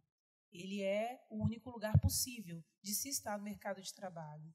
Né? Esse contraste com uma posição uh, de topo na academia ou de topo entre docentes mostra o quão difícil é para as mulheres negras, de fato, ocuparem postos de mando e gestão. Isso nós verificamos na academia, isso nós verificamos no executivo, no legislativo, no judiciário, no Ministério Público. Eh, todos os postos né, que importem eh, efetivamente nesse destaque, eh, e mesmo na iniciativa privada, né, os cargos executivos, né, de executivos, é, nós vamos ter uma presença feminina negra diminuta. Tá? É, portanto, há sim a necessidade de que o Estado brasileiro é, olhe com carinho o que é esse processo histórico e compreenda que, de fato, é um dever do Estado, da sociedade como um todo, é, avançar contra essas marcas da discriminação racial, essas marcas do racismo, uh, e promover medidas que venham de fato significar mudanças efetivas na realidade das pessoas. Então, ações afirmativas na iniciativa privada e ações afirmativas no poder público, na, é, ações afirmativas é, realizadas pelo poder público, são essenciais para que a gente possa, de fato, pensar numa reparação deste passado de uma forma madura, consequente e efetiva. Deixa, deixa eu aproveitar ah, o gancho. Você tem, tem eu, eu, ouvindo você, Valdirene, tem uma coisa que me chama assim, muita atenção e, e, rememorando um pouco o que foi o debate sobre a emenda constitucional, a emenda constitucional que, que, que expandiu, né, ratificando a, a convenção da OIT e que expandiu direitos trabalhistas para o trabalho doméstico, como essa discussão ela, ela não ela, ela não abordou, ela não trouxe à tona o debate sobre mulheres e negritude, mas foi feito todo um debate no sentido de é impossível você não ter o doméstico, ou o doméstico vai ficar desempregado. É, como, como se, se invisibilizou uma parte desse debate? Eu estou errado ou, ou, ou foi isso mesmo? É, é, por muito tempo aqui no Brasil nós tivemos dificuldades de falar que sim, existe discriminação racial, que sim, o mercado de trabalho é, registra isso, a sociedade como um todo acaba experimentando, infelizmente, né, é, é, essa realidade, e essa negativa né, deste fato uh, vinha com uma apresentação de uma ideia de democracia racial. Então, ainda hoje, existem, de fato, muitas pessoas que têm dificuldades de compreender que há racismo. Né? E que, para além do que é a prática individual, existe uma lógica, existe um sistema, existe uma ordem posta e que acaba replicando determinados é, comportamentos, replicando determinadas é, com, condições e situações que vão é, trazer para a população negra grande prejuízo. Então, muitas vezes, determinados temas são, sim, é, vistos e compreendidos de forma inequívoca como sendo prioritariamente afetos à população negra, mas há uma resistência infelizmente ainda até os tempos atuais existe, de que se faça as análises né, dos mais variados fenômenos sociais, compreendendo suas dimensões é, de um plano do, do, do aspecto racial. Tá? Então, o trabalho escravo, o trabalho doméstico, o trabalho infantil, é, que são mazelas que a gente encontra é, dentro do, do âmbito do, do, direito do trabalho, né, do mundo do trabalho, eles têm uma participação aí de população negra importante. Tá? E quando a gente analisa esses fenômenos, a gente tem que fazer o recorte racial. Quando a gente fala do trabalho doméstico, a gente precisa fazer esse recorte racial. Quando a gente fala das consequências da reforma trabalhista ou de uma reforma previdenciária e compreender quem mais será impactado, quem mais sofrerá as consequências né, dessas alterações legislativas e que, em algumas situações postas nos textos que a gente tem, né, é, os textos normativos, vão importar em redução de direitos, em prejuízo de liberdades fundamentais, quem mais sofre? Né? Isso precisa ser considerado. Vocês gostariam de reagir? Ana? Talvez? Jax? Não? É, eu gostaria de fazer uma ponte entre a fala da professora Ana Paula e da juíza Valdirene. É, no que diz respeito à ação afirmativa. Relembrando de que essas medidas hoje estão em declínio na América do Norte. Estão em declínio. Estão em declínio. Na Índia, não. Na Índia, não. A ação afirmativa que iniciou em 48 se expande na Índia. Tá? A discriminação é referente à questão religiosa. Intocáveis, eh, eh, tribos eh, desfavorecidas, etc, etc. Mas, portanto, portanto, a questão da ação afirmativa, observando que a noção de diversidade ela é bastante interessante porque ela proporciona, no âmbito das empresas, a tomada de consciência de que ter um, um, um corpo de empregados diverso é um enriquecimento, não apenas para os próprios funcionários, mas também é um, possibilita maior lucros no que diz respeito à comunidade externa.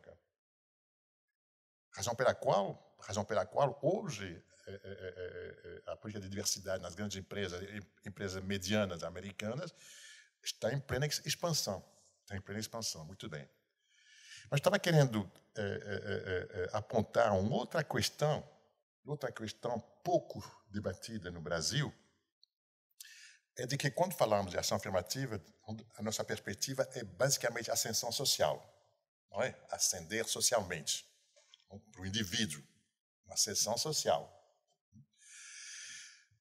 Mas a ascensão social em si, na minha opinião pessoal, é insuficiente.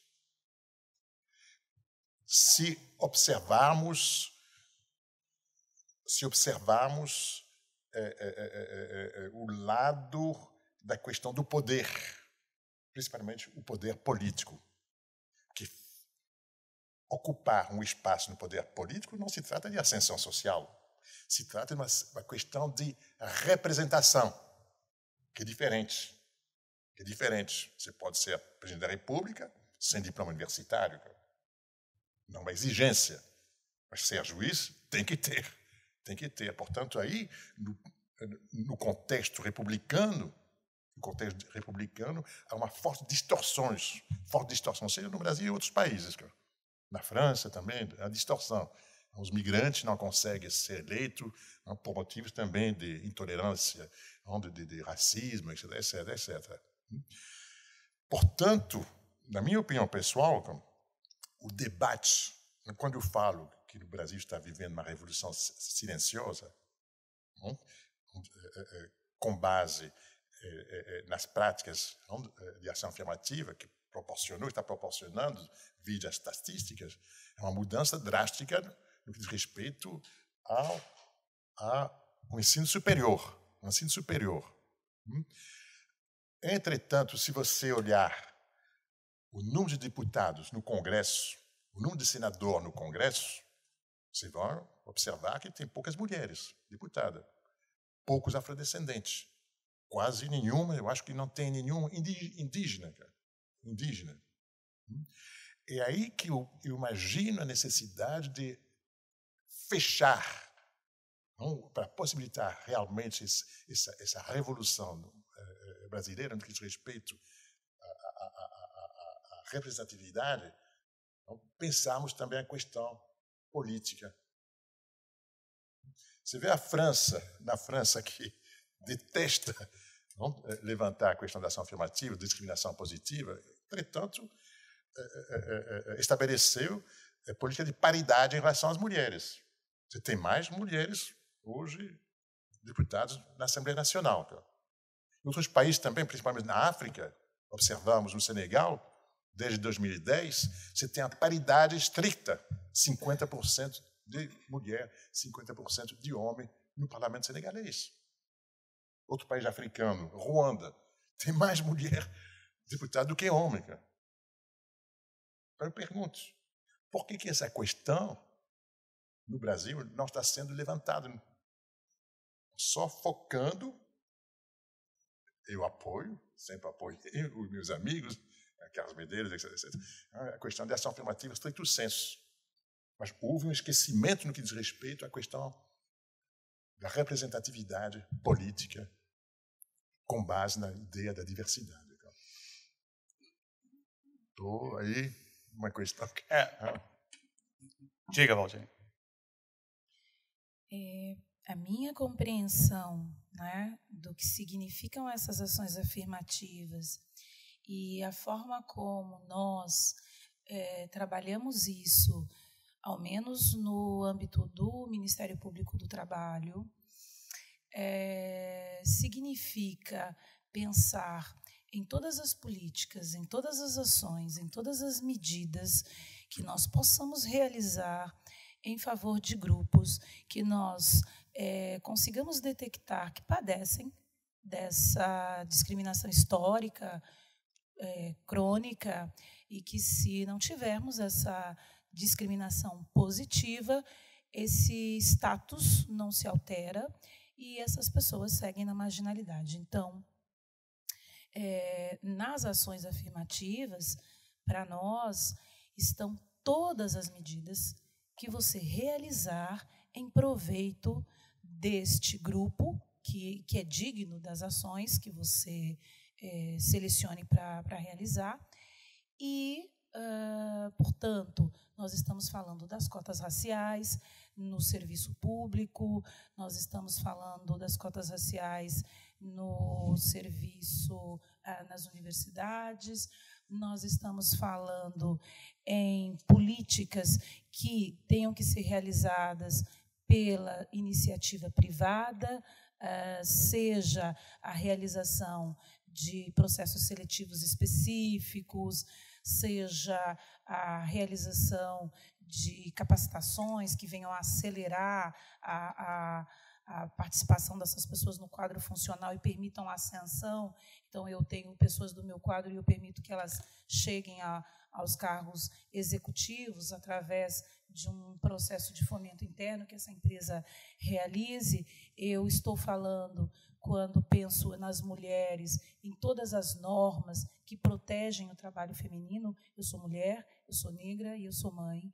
E eu só existo no mercado de trabalho porque existem normas centradas na lógica das ações afirmativas, centradas na lógica da discriminação positiva e que favorecem a existência digna das mulheres no mercado de trabalho.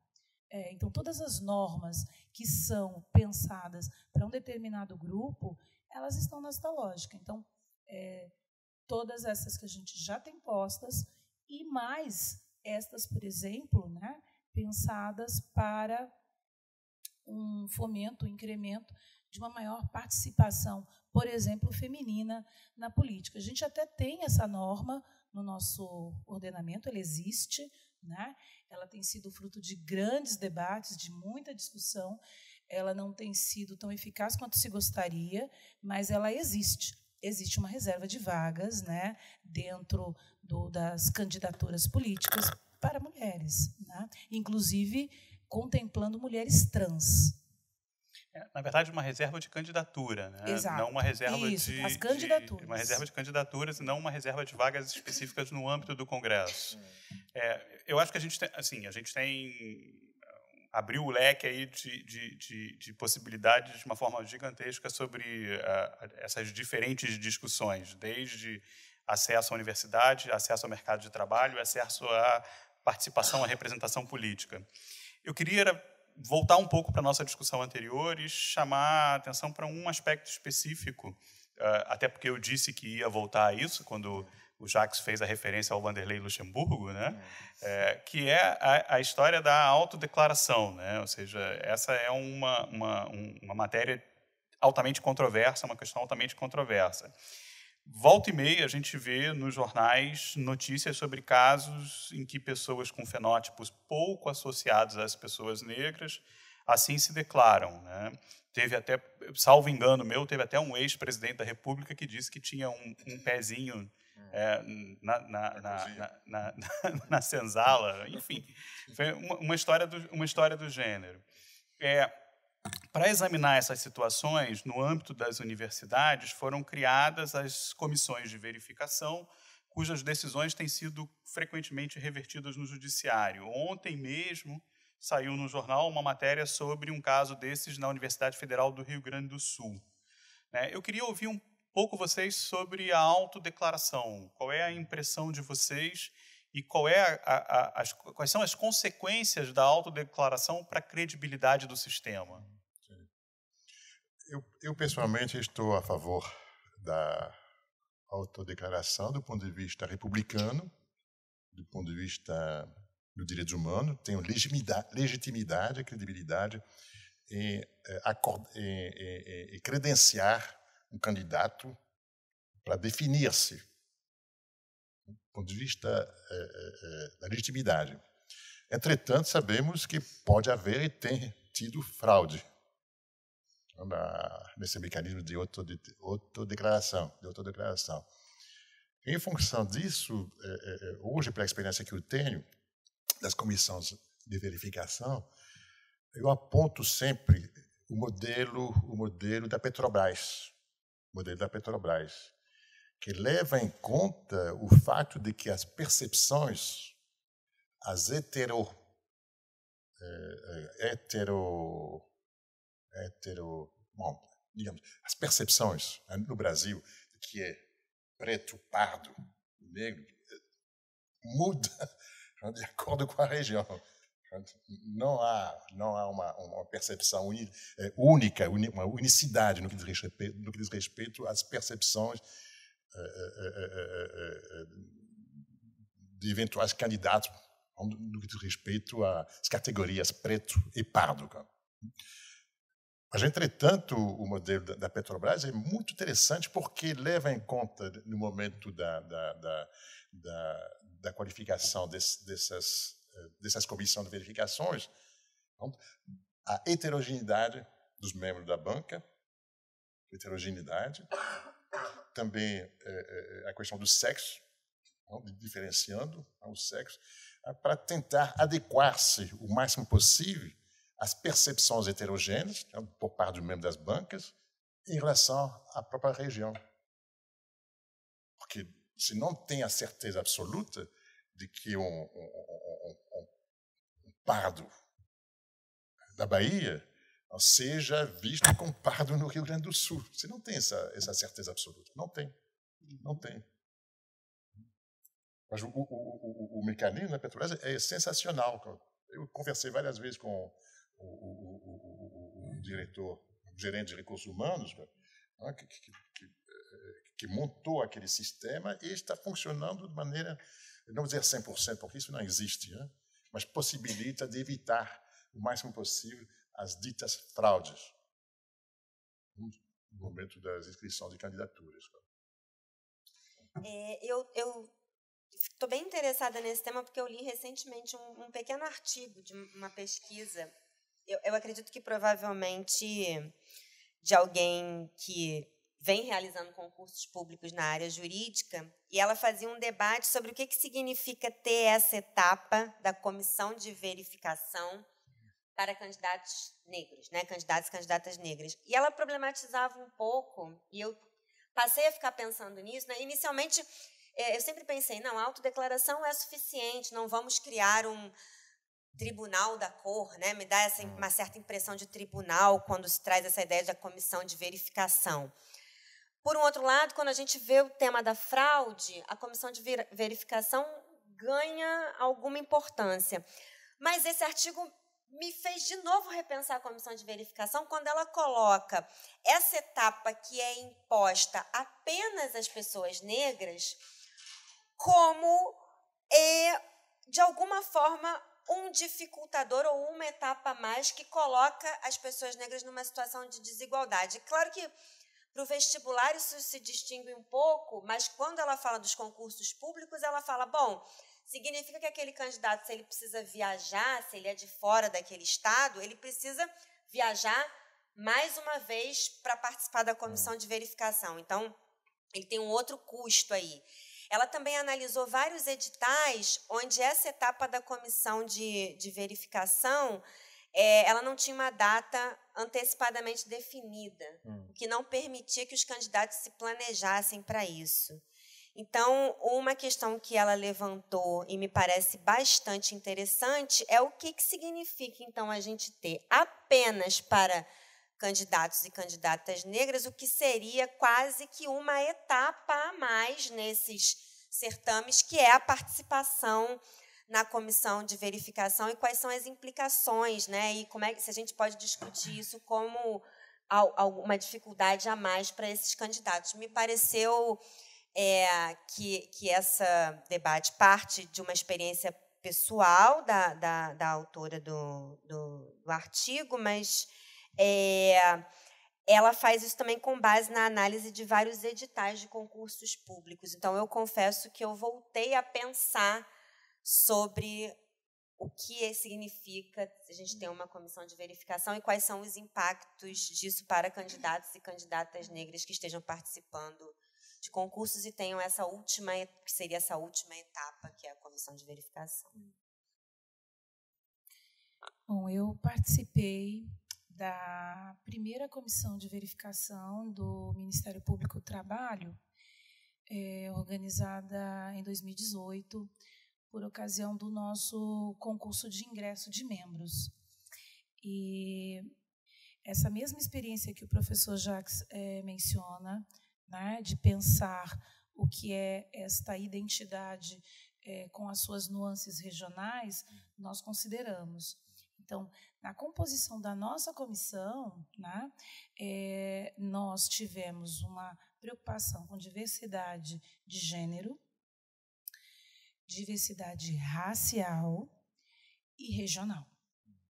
Tá? Foram três pessoas escolhidas com este, com este olhar. É, tivemos, inclusive, é, a aprovação do primeiro membro de Ministério Público no Brasil por cota racial. Tá? É, eu digo que a autodeclaração ela, ela é um marco legal mas uh, nós não podemos ser é, assim alheios a um fato que é o ser humano, infelizmente, por vezes não observa né, o que está contido na lei e não procede com o que a ética e a moral recomenda. Daí porque algumas pessoas, é, quando né, perceberam que esta autodeclaração estava ali como algo que não se discutia, né, se sentiram à vontade para fazer uso das cotas raciais de forma ilegítima. Esse uso ilegítimo das cotas raciais, ele prejudica a população negra, que é o destinatário, né, que é o, o quem tem direito ao uso dela e prejudica a fraude, né? prejudica também a sociedade como um todo, porque existe um pacto social no sentido de que, sim, existe a necessidade da promoção da igualdade em favor de um determinado grupo. E, sim, a sociedade vai fazer esta reserva, o que significa dizer reduz do grupo maior e coloca uma parcela direcionada a um determinado grupo. Tá? Então, é um acordo é um pacto que a sociedade faz e faz isso através da lei, no momento que legisla sobre isso. Então, essa violação ela é grave. Né? A autodeclaração que está ali contida na lei e que é a livre, que é aquela que quaisquer um do povo pode fazer, é a que não resulte em prejuízo a terceiro. É aquela que não resulte no uso ou no gozo de um direito que não é seu é, eu posso me autodeclarar um copo e vou sair por aí dizendo que sou um copo, e se isso não tiver maior ressonância, copo serei, ponto. A partir do momento que eu digo que sou negra ou que sou negro, porque quero fazer uso de uma política pública, porque quero me beneficiar do direito que é colocado àqueles que uh, são considerados negros no Brasil, eu preciso, portanto, estar devidamente é, é, coadunado, enquadrado neste, neste fenótipo, porque é assim que o, o judiciário acabou por chancelar. Então, o Supremo Tribunal Federal vem e diz que as cotas raciais elas são destinadas a quem é marcado pela discriminação. Portanto, eu tenho um fenótipo que vai é, nos dizer quem são as pessoas destinatárias das cotas. É, essas pessoas elas precisam se autodeclarar, mas é muito importante que a sociedade também as veja assim. Né? É por isso que a gente nem fala do afrodescendente, porque na África existem pessoas brancas, e porque o afrodescendente é aquele que tem uma mãe ou um pai né, é, negro ou com esta ancestralidade, mas não necessariamente tem características da raça negra, características físicas, fenótipo raça negra. Então, a heteroidentificação, que é o que faz a comissão, ela é fundamental para que a gente legitime esse processo. É, por mais que a gente possa ter debates tantos sobre é, como que esse fenótipo, ao final, acaba sendo chancelado pela comissão, né? mas há necessidade da existência desta comissão, porque é isso, não basta que eu me diga e que eu me veja negra, é preciso que a sociedade também me veja. E o papel que faz a comissão de heteroidentidade é esse: é dar a chancela é, final a esta declaração feita pelo candidato, ou candidata àquela é, política pública que está ali colocada, uh, e nos, nos afastando, portanto, essa mácula da fraude. Né? Sem a comissão de heteroidentidade, nós ficamos reféns das fraudes. A gente está caminhando um pouco para o fim, né? É, da mesma forma como a gente começou com uma discussão mais genérica sobre racismo estrutural, é, eu queria voltar um pouco para a literatura acadêmica, que hoje faz uma discussão entre branquitude e negritude, né? É, e muito se critica dentro desse debate toda a ideia de mestiçagem, ou seja, coisas que se tornaram um pouco lugar comum quando se tenta explicar o Brasil. Né? A mestiçagem, o caldo de cultura, o caldo de raças. É, um, no fundo, talvez isso seja uma, uma forma de fazer desaparecer a, a contribuição uh, do negro para o processo formativo da sociedade brasileira.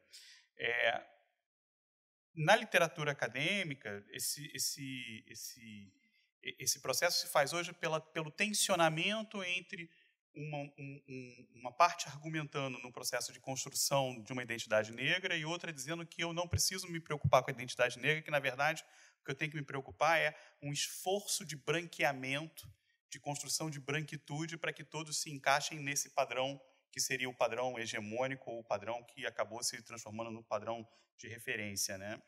É, entre esses dois olhares, eu queria ouvir um pouco vocês assim como uma espécie de nota conclusiva é, para onde que vai a chave explicativa, para onde que vai a sociedade brasileira e né, qual é a melhor, qual seria a, a melhor chave explicativa para entender a presença do negro na sociedade brasileira? Silêncio, isso talvez seja, já seja uma resposta. é, né? Jacques, não, não. Ana? Nossa, é, é uma pergunta complexa, né? Quase, é quase filosófica, mas eu, na verdade, vou, vou fugir da explicação filosófica para falar um pouco que é um pouco mais a minha praia, assim, de tentar trazer um pouco da, da realidade e da experiência, né? Eu atualmente esse dado que apareceu sobre as universidades, é, ele foi foi muito interessante para para confirmar também um momento que eu estou vivendo na universidade pública, que é dar aula para uma turma que tem, acho que talvez até um pouco mais da metade dos alunos e alunas negras pela primeira vez, né, num curso de direito. É claro que eu tenho alunos de outros cursos, mas é, e o quanto essa possibilidade do debate sobre negritude e branquitude tem, tem me mostrado que os alunos são os alunos negros são cada vez mais capazes de falar e se posicionar em sala de aula e o quanto é, ouvir esses alunos falando tem feito com que esses alunos brancos tenham entendido também que há um momento para eles ouvirem a esses alunos negros e pensarem, né, e repensarem, talvez, para esse lugar da branquitude.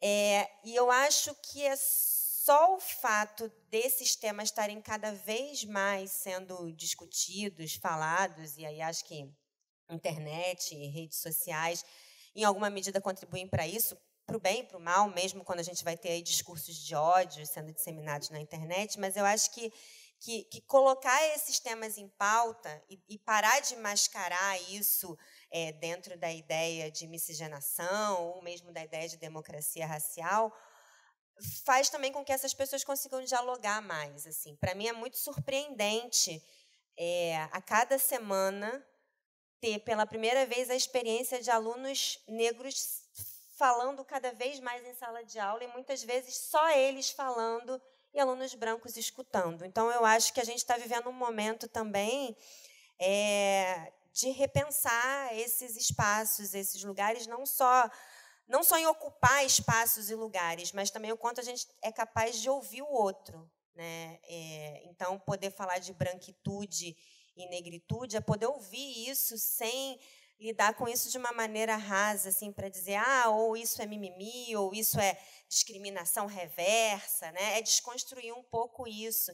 E acho que só ouvindo o outro, a experiência do outro, tendo empatia pelo que o outro está vivendo, convivendo com o outro, que é a experiência que eu tenho tido em sala de aula de convivência de alunos é, de classes sociais diferentes também, mas que às vezes têm a mesma classe social, mas que vivem a experiência racial de maneira distinta, eu acho que é uma maneira que a gente tem aí de, de construir uma sociedade mais capaz de reconhecer essas desigualdades. Então, eu fico pensando mais do que do ponto de vista teórico, é como é que na prática isso se opera.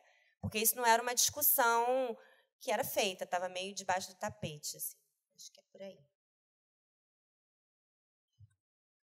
É, eu vou seguir aqui a mesma linha é, e fazer uma reflexão também sobre o que é que esta pergunta significa na minha prática, é, este dado né, de uma maior presença de jovens negras e negros nas universidades, para nós né, que estamos trabalhando dentro dessa estrutura né, estatal chamada Ministério Público, e no meu caso, um Ministério Público dedicado aos direitos sociais, dedicado a, ao mundo do trabalho, desde 2017, desde meados de 2017, que a gente busca, é, através de um grande diálogo com a sociedade, compreender como atuar né, nessa questão das desigualdades raciais no trabalho de forma eficaz.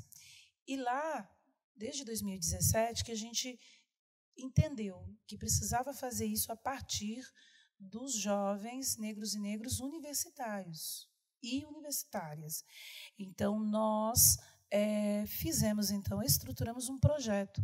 Ele é um projeto nacional de inclusão de jovens negras e negros no mercado de trabalho. Então, ele tem um recorte de gênero, ele tem um recorte de raça, ele é focado numa inclusão desta população que tem uma qualificação profissional diferenciada, portanto, é foco deste projeto jovens, né, as meninas e os meninos que estão na universidade, ou que terminaram de passar por ela há pouco, é, porque este dado que o IBGE traz a lume nos revela agora, nós já conseguimos identificá-lo através dos dados que nós estávamos é, manuseando, os dados que nós estávamos analisando.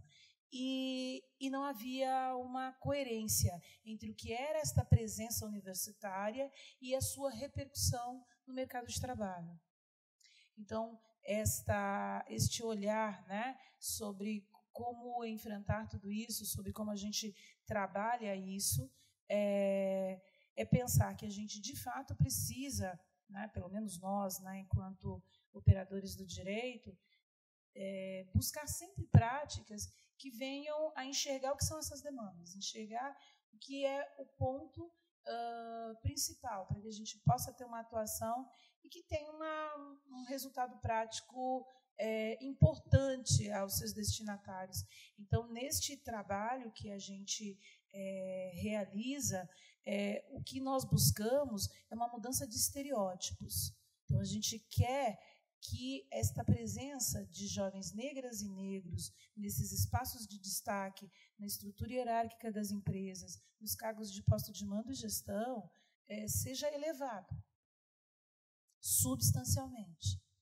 E quando a gente está fazendo isso, a gente faz dialogando com as empresas, sindicatos, organismos internacionais, outros, é, outras entidades de direito público. Então, nós estamos fazendo isso numa rede. O que, que a gente está buscando, em verdade? A gente está tentando mudar uma cultura. A gente está tentando é, dizer que é, se esses jovens não estão no mercado de trabalho, antes de tudo, é, aquele debate que antes era pela qualificação, que já não existe mais, porque eles chegaram. Eles estão na universidade, mas mesmo assim eles não entram no mercado de trabalho. Então, como que a gente analisa isso? A gente analisa de uma perspectiva de que sim, existe uma lógica excludente nos processos seletivos, existe uma lógica excludente nas, nas estruturas que vão, é, inclusive, permitir ascensão, e no caso da população negra, não permitir sua ascensão nos quadros funcionais. Então, é este o debate que a gente traz no contexto de um projeto e, e tentar, portanto, trazer o que é branquitude e o que é negritude para um debate profundo sobre como que nós vamos equalizar as balanças, né, o prato dessa, dessa balança aí, é, no mundo do trabalho. Uma palavra final, Jaque? Eu diria o seguinte, cara, que o Brasil mudou. o Brasil mudou é, no diz respeito a esse debate. 40 anos atrás, cara, era um pequeno grupo de nada. Né, no Afroasiático, da Cândido Mendes, quatro, cinco, seis pesquisadores, logo depois liderado pelo professor Carlos Assenbach, do IUPERJ, um, um, um argentino que havia defendendo a tese sobre a disparidade raciais no Brasil, mas ele falava sozinho na academia. Inclusive, ele chegou a, a se aposentar um pouco magoado, amargurado, que ele continuava, no fim da carreira dele, eh, debatendo com um, dois acadêmicos, não, tendo tido reconhecimento. De acordo com ele, de acordo com ele, mas reconhecimento no âmbito da sociologia tranquilo. Mas tinha essa mágoa, tinha essa mágoa. Se aposentou e, e três, quatro anos, atrás, quatro anos atrás faleceu, faleceu. Entretanto, é, é, Roberto, essa mesa que você organizou, esse debate, me mostra de novo que é, é, o trabalho do Carlos Limbalco possibilitou de ir além da academia. Ir além da academia. Ministério Público federal, que eu havia observado há, há 10 anos atrás, não, há 15 anos atrás, em Brasília, é uma nova, um novo espírito que estava se instalando no judiciário brasileiro. Fiquei muito espantado conversando com, com, com, com, os funcionários do Ministério Público naquela época, né, quando estava se debatendo a prevalência ou não de estabelecer ação afirmativa. Eu fiquei, naquela época, me lembro, estava em Brasília acompanhando é, membro de uma banca de, é, é, de, de, não, não, de defesa de dissertação sobre essa temática, eu fiquei muito espantado e muito contente de observarmos essa abertura lenta, gradual, como diria Goberi da Silva, e hoje com resultados concretos, mas ainda insatisfatório, ainda insatisfatório.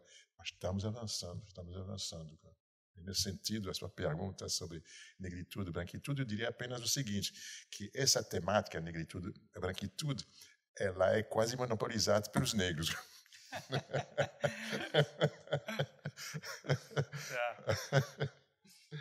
é. é isso. É, bom, estamos chegando ao fim. Né? Mais um Direito nos Tímpanos, podcast da Escola Judicial do Tribunal Regional do Trabalho da Primeira Região que procurou hoje fazer aqui, proporcionar uma discussão sobre o Dia da Consciência Negra. Né? Nesse papo, conversamos com o Jacques, com Valdirene, com Ana Paula, tentando entender essas diferentes questões e avançar um pouco mais no debate sobre o espaço do negro na sociedade brasileira. Falamos sobre racismo, racismo estrutural, ações afirmativas, identidades sociais e inúmeras outras questões sensíveis, como, por exemplo, a questão da representação. Por conta disso, eu gostaria de agradecer aos três pela conversa e registrar o convite para que voltem e possamos prolongar o papo. Obrigado ainda a Jane, a nossa engenheira de som, que resistiu bravamente ao longo dessa gravação. Obrigado ainda e, sobretudo, a você, ouvinte, que nos acompanhou até aqui. Lembrando que você pode participar sugerindo assuntos e convidados para o nosso podcast. Basta mandar suas sugestões para escola.judicial.trt1.jus.br. É hora de dizermos até breve, até o próximo Direito nos Tímpanos, o podcast da Escola Judicial do Tribunal Regional do Trabalho da Primeira Região. Curtiu? Quer ganhar uma hora de formação? Direito nos Tímpanos também te oferece essa possibilidade. Basta clicar no link abaixo e responder as perguntas do questionário. É rápido, fácil e indolor. E vale uma hora.